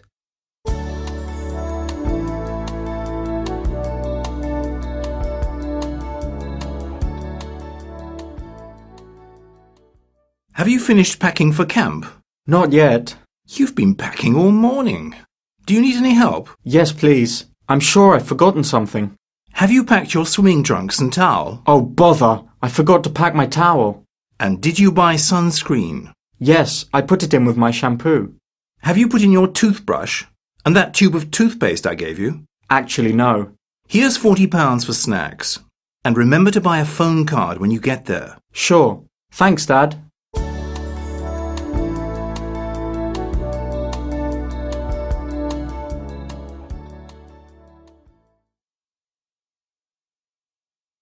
Exercise 6, page 89.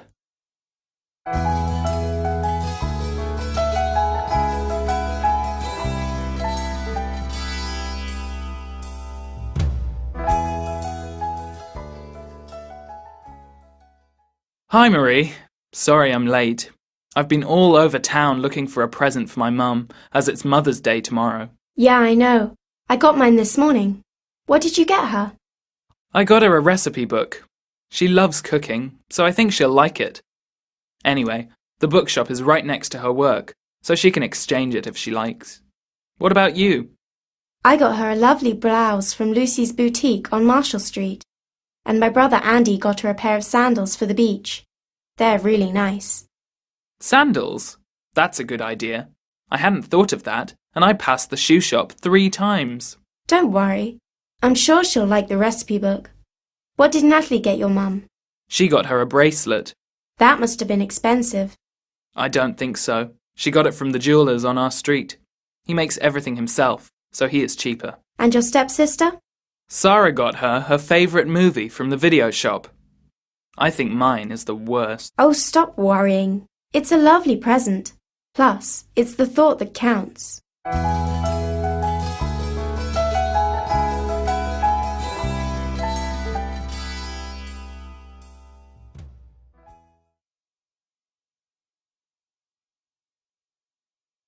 Exercise 7A, page 89.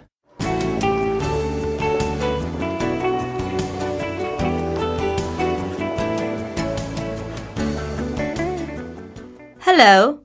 I'd like a phone card, please. Sure. What type? Local, please. Here you are. How much is it, please? Twelve pounds. Sorry, how much did you say? Twelve pounds. Here you are. Thank you.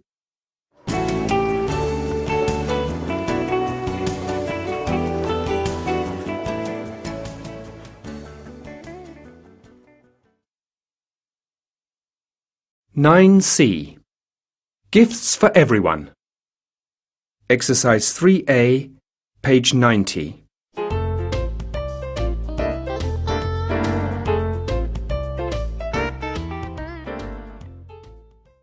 Hi, Wendy. Greetings from New York. It's great here. I've been shopping all day and I'm really tired. But at least I've finished buying presents now. It's so difficult to find something for everyone. The easiest person to buy for was my little brother Tim. I bought him a silver robot. He'll love it. It walks, talks and does tricks. I had more trouble finding something for my dad, though. He seems to have everything already. In the end, I bought him a brown leather wallet. His old one is falling apart. My mum likes everything I buy for her, so I got her a lovely silver picture frame. I've also found some striped cushions for my grandma. I hope she will like them. I've bought a present for you too. I won't say what it is though, as that would ruin the surprise. See you in a few weeks, Angela.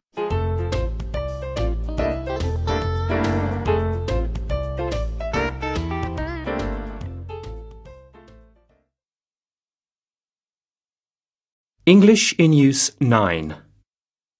Exercise 1A, page 92. This is for you. That's very kind of you. Try it on and see if it fits. What do you think? It matches the colour of your eyes. I hope you like it. Are they your size? They're too big.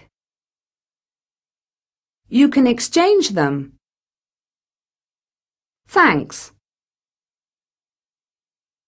Exercise 1B, page 92.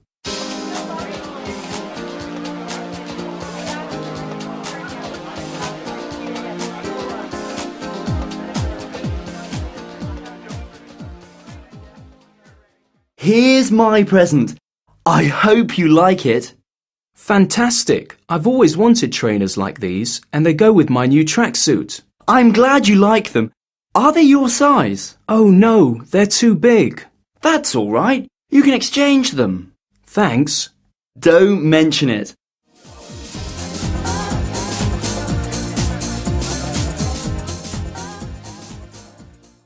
This is for you. That's very kind of you.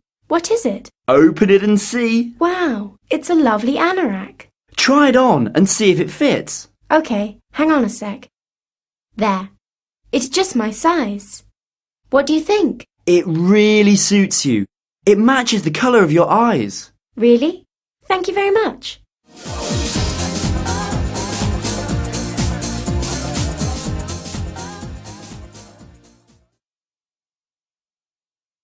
Exercise 4, page 92. Reading rules. C between vowels. S. Nice. S between vowels. Z. Busy. Face. Phase. Police. Please. Dice. Raisin. Extensive Reading 9. Exercise 2, page 93.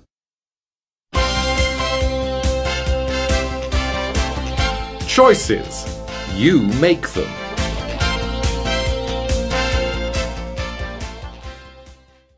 People shop a lot. We buy clothes, food, music, mobile phones, and millions of other things for what seems like a million different reasons. Obviously, we buy things because we need them, but sometimes it's just to fit in. Sometimes we buy stuff and we just don't know why. Everything we buy affects the environment, but some choices are better than others. We have the power to make those choices. We can buy smart. Take some time to think before you buy something. Maybe you don't really need it. Send a virtual e-card instead of a paper birthday card.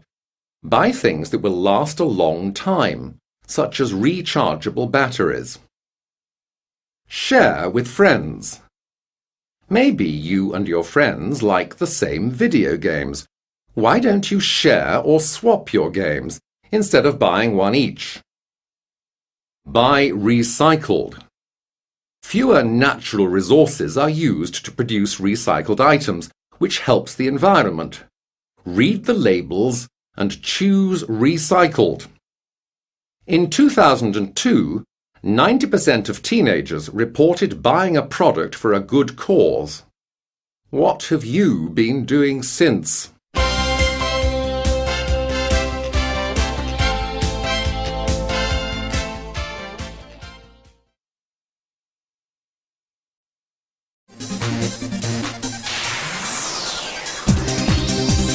Module 10 Healthy Body, Healthy Mind.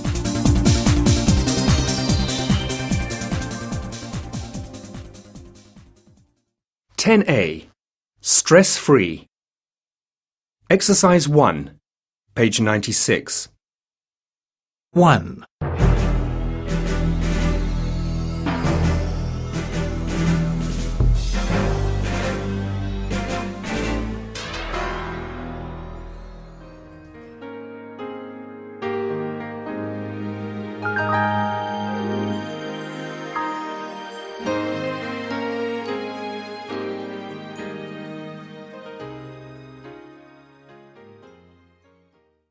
Two.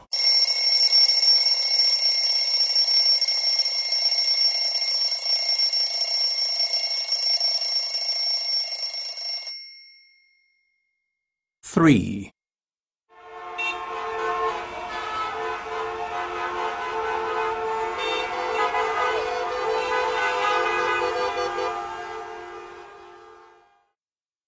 Four.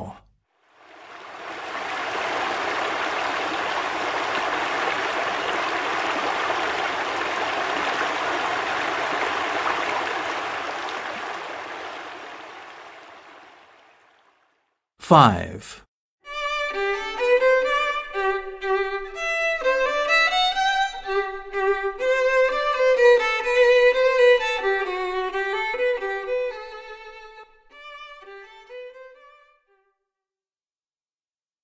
Exercise 3B, page 96. Take it easy.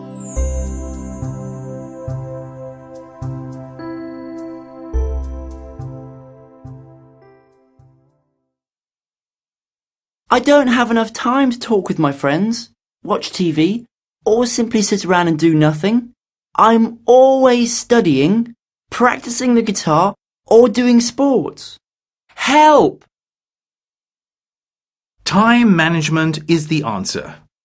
Make a weekly planner and separate the have-tos from the want-tos. Allow some want-tos in your daily timetable.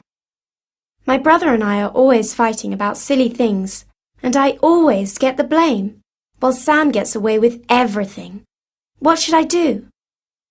If you scratch my back, I'll scratch yours. You can't always have it your way. Learn to cooperate.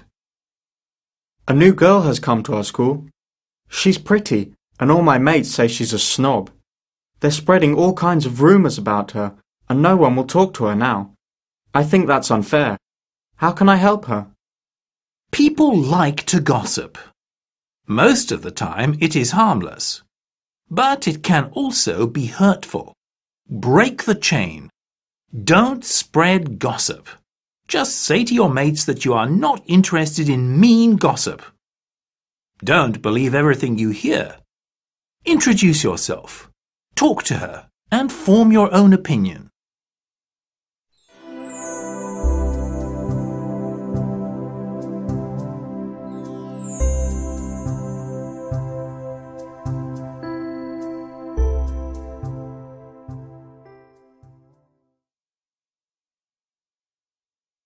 Ten B, accident prone. Exercise 2A, page 98.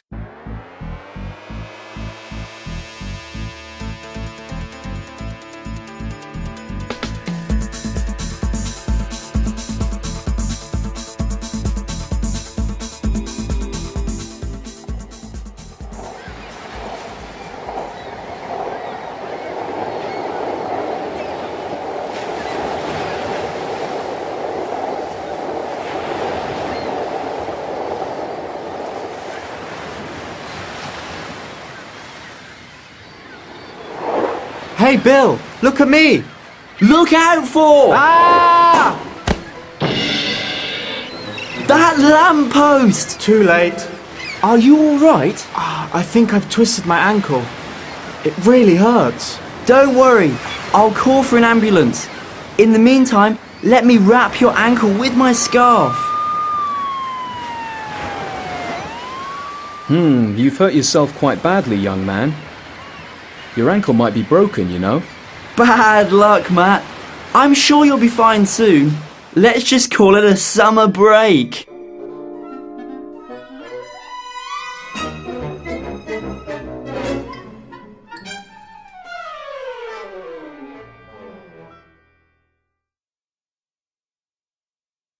Exercise 3B, page 99.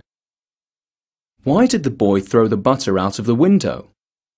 He wanted to see a butterfly. Butterfly. Which day of the week do fish hate? Friday. Fry, day. Exercise 7A, page 99.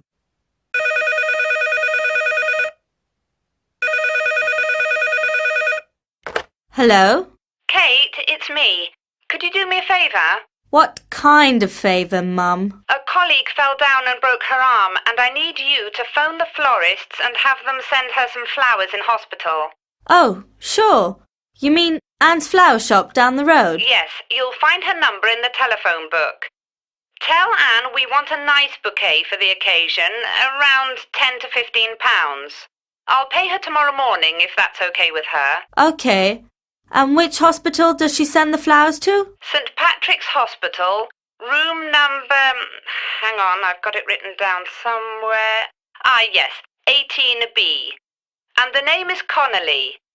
C O N N E L Y. C O N N E L Y. Okay. Ask Anne to write a card to go with the flowers. Just ask her to write, Hope you feel better soon. Fine. Oh, and Kate, Tell Anne that they should be at the hospital before visiting hours are over, and that's at half past seven. Before 7:30 p.m. Okay, Mum. I'll phone her now. Anything else? No, I'm running late, so have supper without me and don't forget to lock the 10C, Doctor Doctor. Exercise 1B, page 100.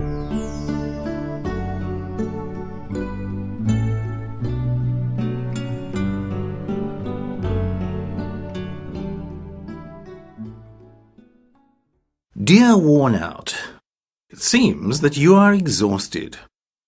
Here are a few things you can try in order to feel better and be able to take part in the tournament. First of all, it's important to get some rest. Why don't you take a couple of days off training? This way, you'll give yourself the chance to relax. You should also think about your eating habits. Eat more fruit and vegetables and drink plenty of water. If you do this, you'll give your body the vitamins and energy it needs to perform well. I hope my advice helps. Good luck in the tournament.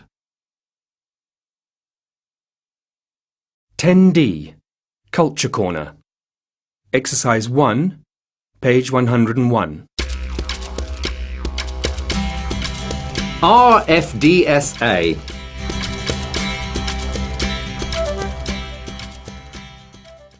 Imagine a job that involves helping 200,000 isolated patients over 7.5 million square miles of the Australian outback. The job includes treating patients on remote sheep farms, operating with basic equipment. It also means dealing with the risks of flying in bad weather conditions and making emergency landings to save critically ill patients. This is the daily life of those working for the Royal Flying Doctor Service of Australia. Living in the outback means almost complete isolation for thousands of Australians. It's unusual to find homes or small villages within 60 miles of each other, let alone a hospital. The RFDSA, which is a non-profit charity, was set up in 1928 since then, it has been helping those who live in remote areas of Australia. Today, it offers primary health care from an aeroplane, 24 hours a day, 365 days a year, as well as educational assistance. If the doctors are unable to treat a patient, they will fly them to the nearest hospital to be treated there. To learn more about the RFDSA, visit www.flyingdoctor.net forward slash default. English in Use 10. Exercise 1A, page 102.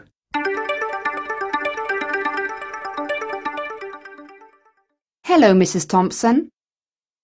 What's the matter? I don't feel well. It hurts when I swallow. Let's take your temperature, shall we? How long will I feel like this? Bless you. Here's a tissue. Exercise 1B, page 102. Hello, Mrs. Thompson. Hi, Anne. Oh dear, what's the matter? I don't feel well. Have a seat and tell me what's wrong. I've got a headache. I feel dizzy and my throat sore. It hurts when I swallow. I see. Let's take your temperature, shall we? OK. Hmm. You have a fever, Anne. That means you're coming down with the flu. It isn't serious, so don't worry. Plus, you can go home early. Can I go to basketball practice tomorrow? I'm afraid not. You should get plenty of rest, have warm baths, and drink lots of water. How long will I feel like this? You'll feel better in a couple of days. Bless you. Here's a tissue. Exercise 4, page 102.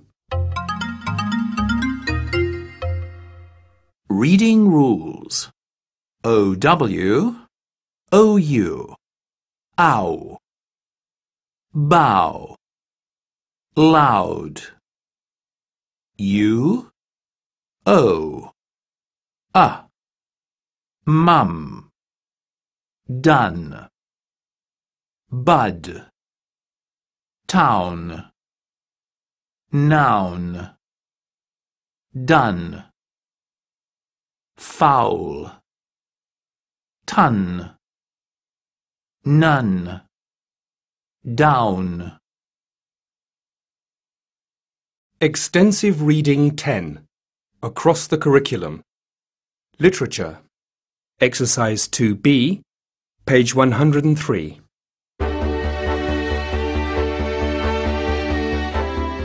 Daniel Defoe, 1660 to 1731, an English novelist and journalist, is most famous as the author of Robinson Crusoe, 1719, a story of a man shipwrecked alone on an island. Among his other works are Moll Flanders, 1722, A Journal of the Plague Year, 1722, and Captain Jack, 1722. His last great work of fiction, Roxana, appeared in 1724. Defoe went into politics and trade and traveled all over Europe. In 1684, he married Mary Tuffley. They had two sons and five daughters.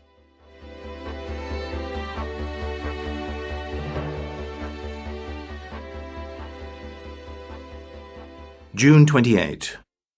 When I woke up after sleeping for almost two days, I felt quite refreshed, so I got up and decided to prepare myself for the night ahead. The first thing I did was to fill a large bottle with water and put it on the table next to my bed. Then I grilled some of the meat on the coals, but I only ate a little bit. I walked about, but was still very weak and I felt miserable about my sickness. At night I had three of the turtle's eggs, which I roasted in the ashes for supper. After supper I tried to walk, but I felt so weak that I could hardly carry the gun. I never went out without that. So I walked a short distance and sat down on the ground, looking out to the smooth and calm sea in front of me. As I sat here, I thought about my life so far. Not feeling sleepy, I decided to go back to my hut and make some medicine from green leaves and rum. I took some and went to bed. I must have been sleeping all the next day, and the day after, because when I woke up I felt refreshed, lively, and cheerful. And when I got up, I was stronger than I was the day before, and I knew my stomach was better because I felt hungry.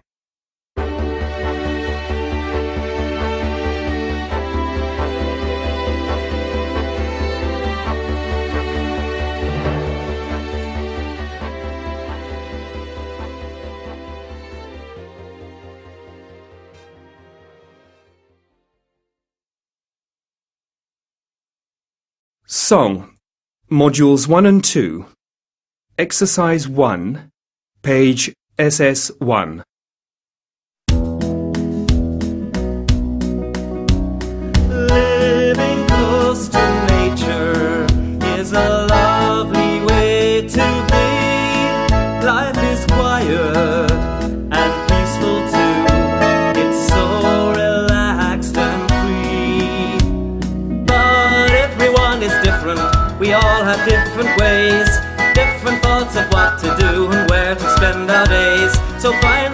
Where you belong, the place that makes you smile, the place that gives you what you want, where you can live in style.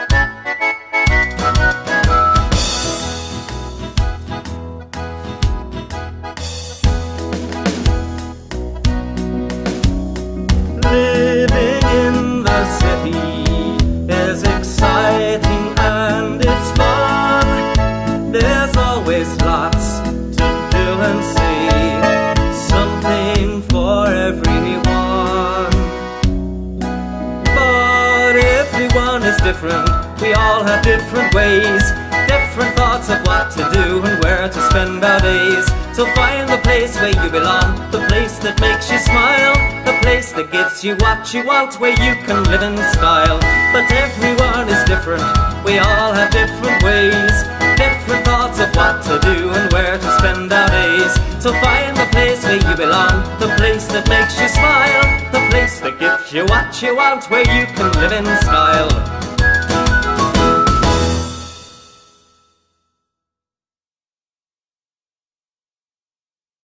Song, Modules 3 and 4, Exercise 1, page SS1.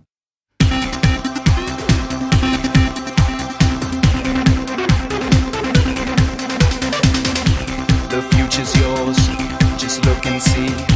Be anything you want to be. Just remember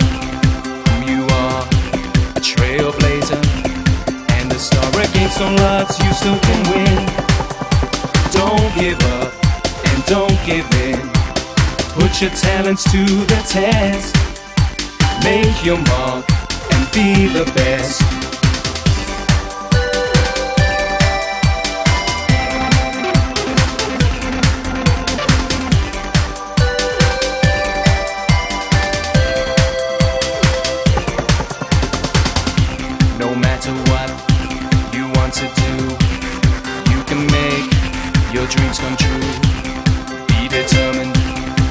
control.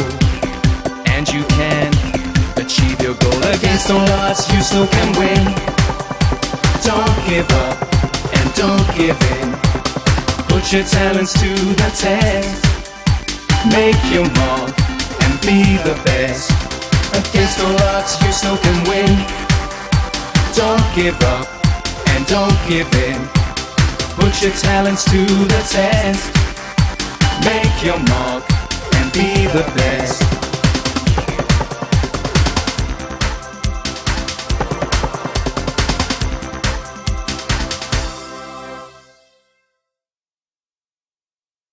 Song. Modules 5 and 6 Exercise 1 Page SS2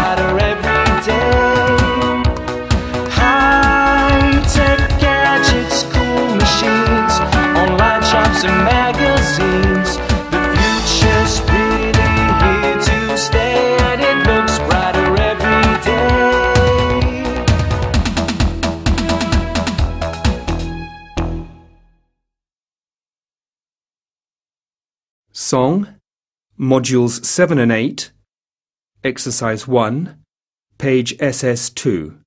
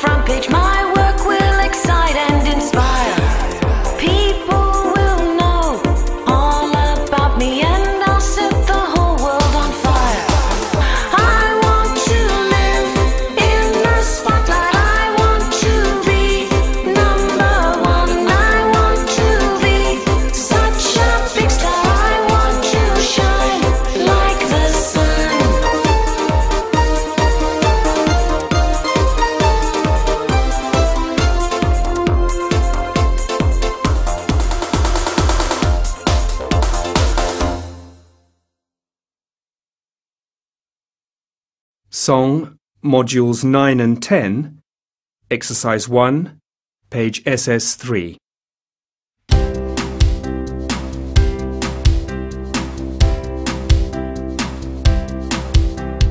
When I'm under the weather, or when I'm feeling ill, there's one thing that works for me, much more than any pill.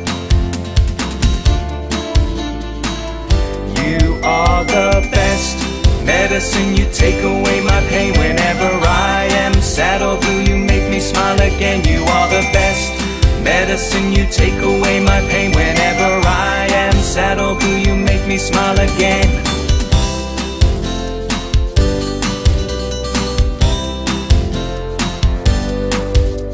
I don't need tea or syrup, and tablets just won't do. The only cure for my disease is spending time with you.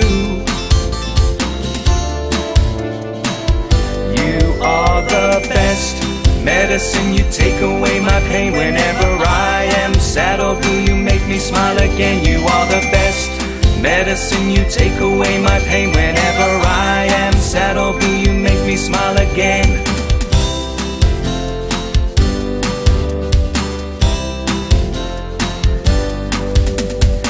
Doctors can't explain why my symptoms disappear. And I'm in perfect health again whenever you are near. You are the best medicine. You take away my pain whenever I am sad. Oh, or blue, you make me smile again. You are the best medicine. You take away my pain whenever I am sad. Oh, blue, you make me smile again.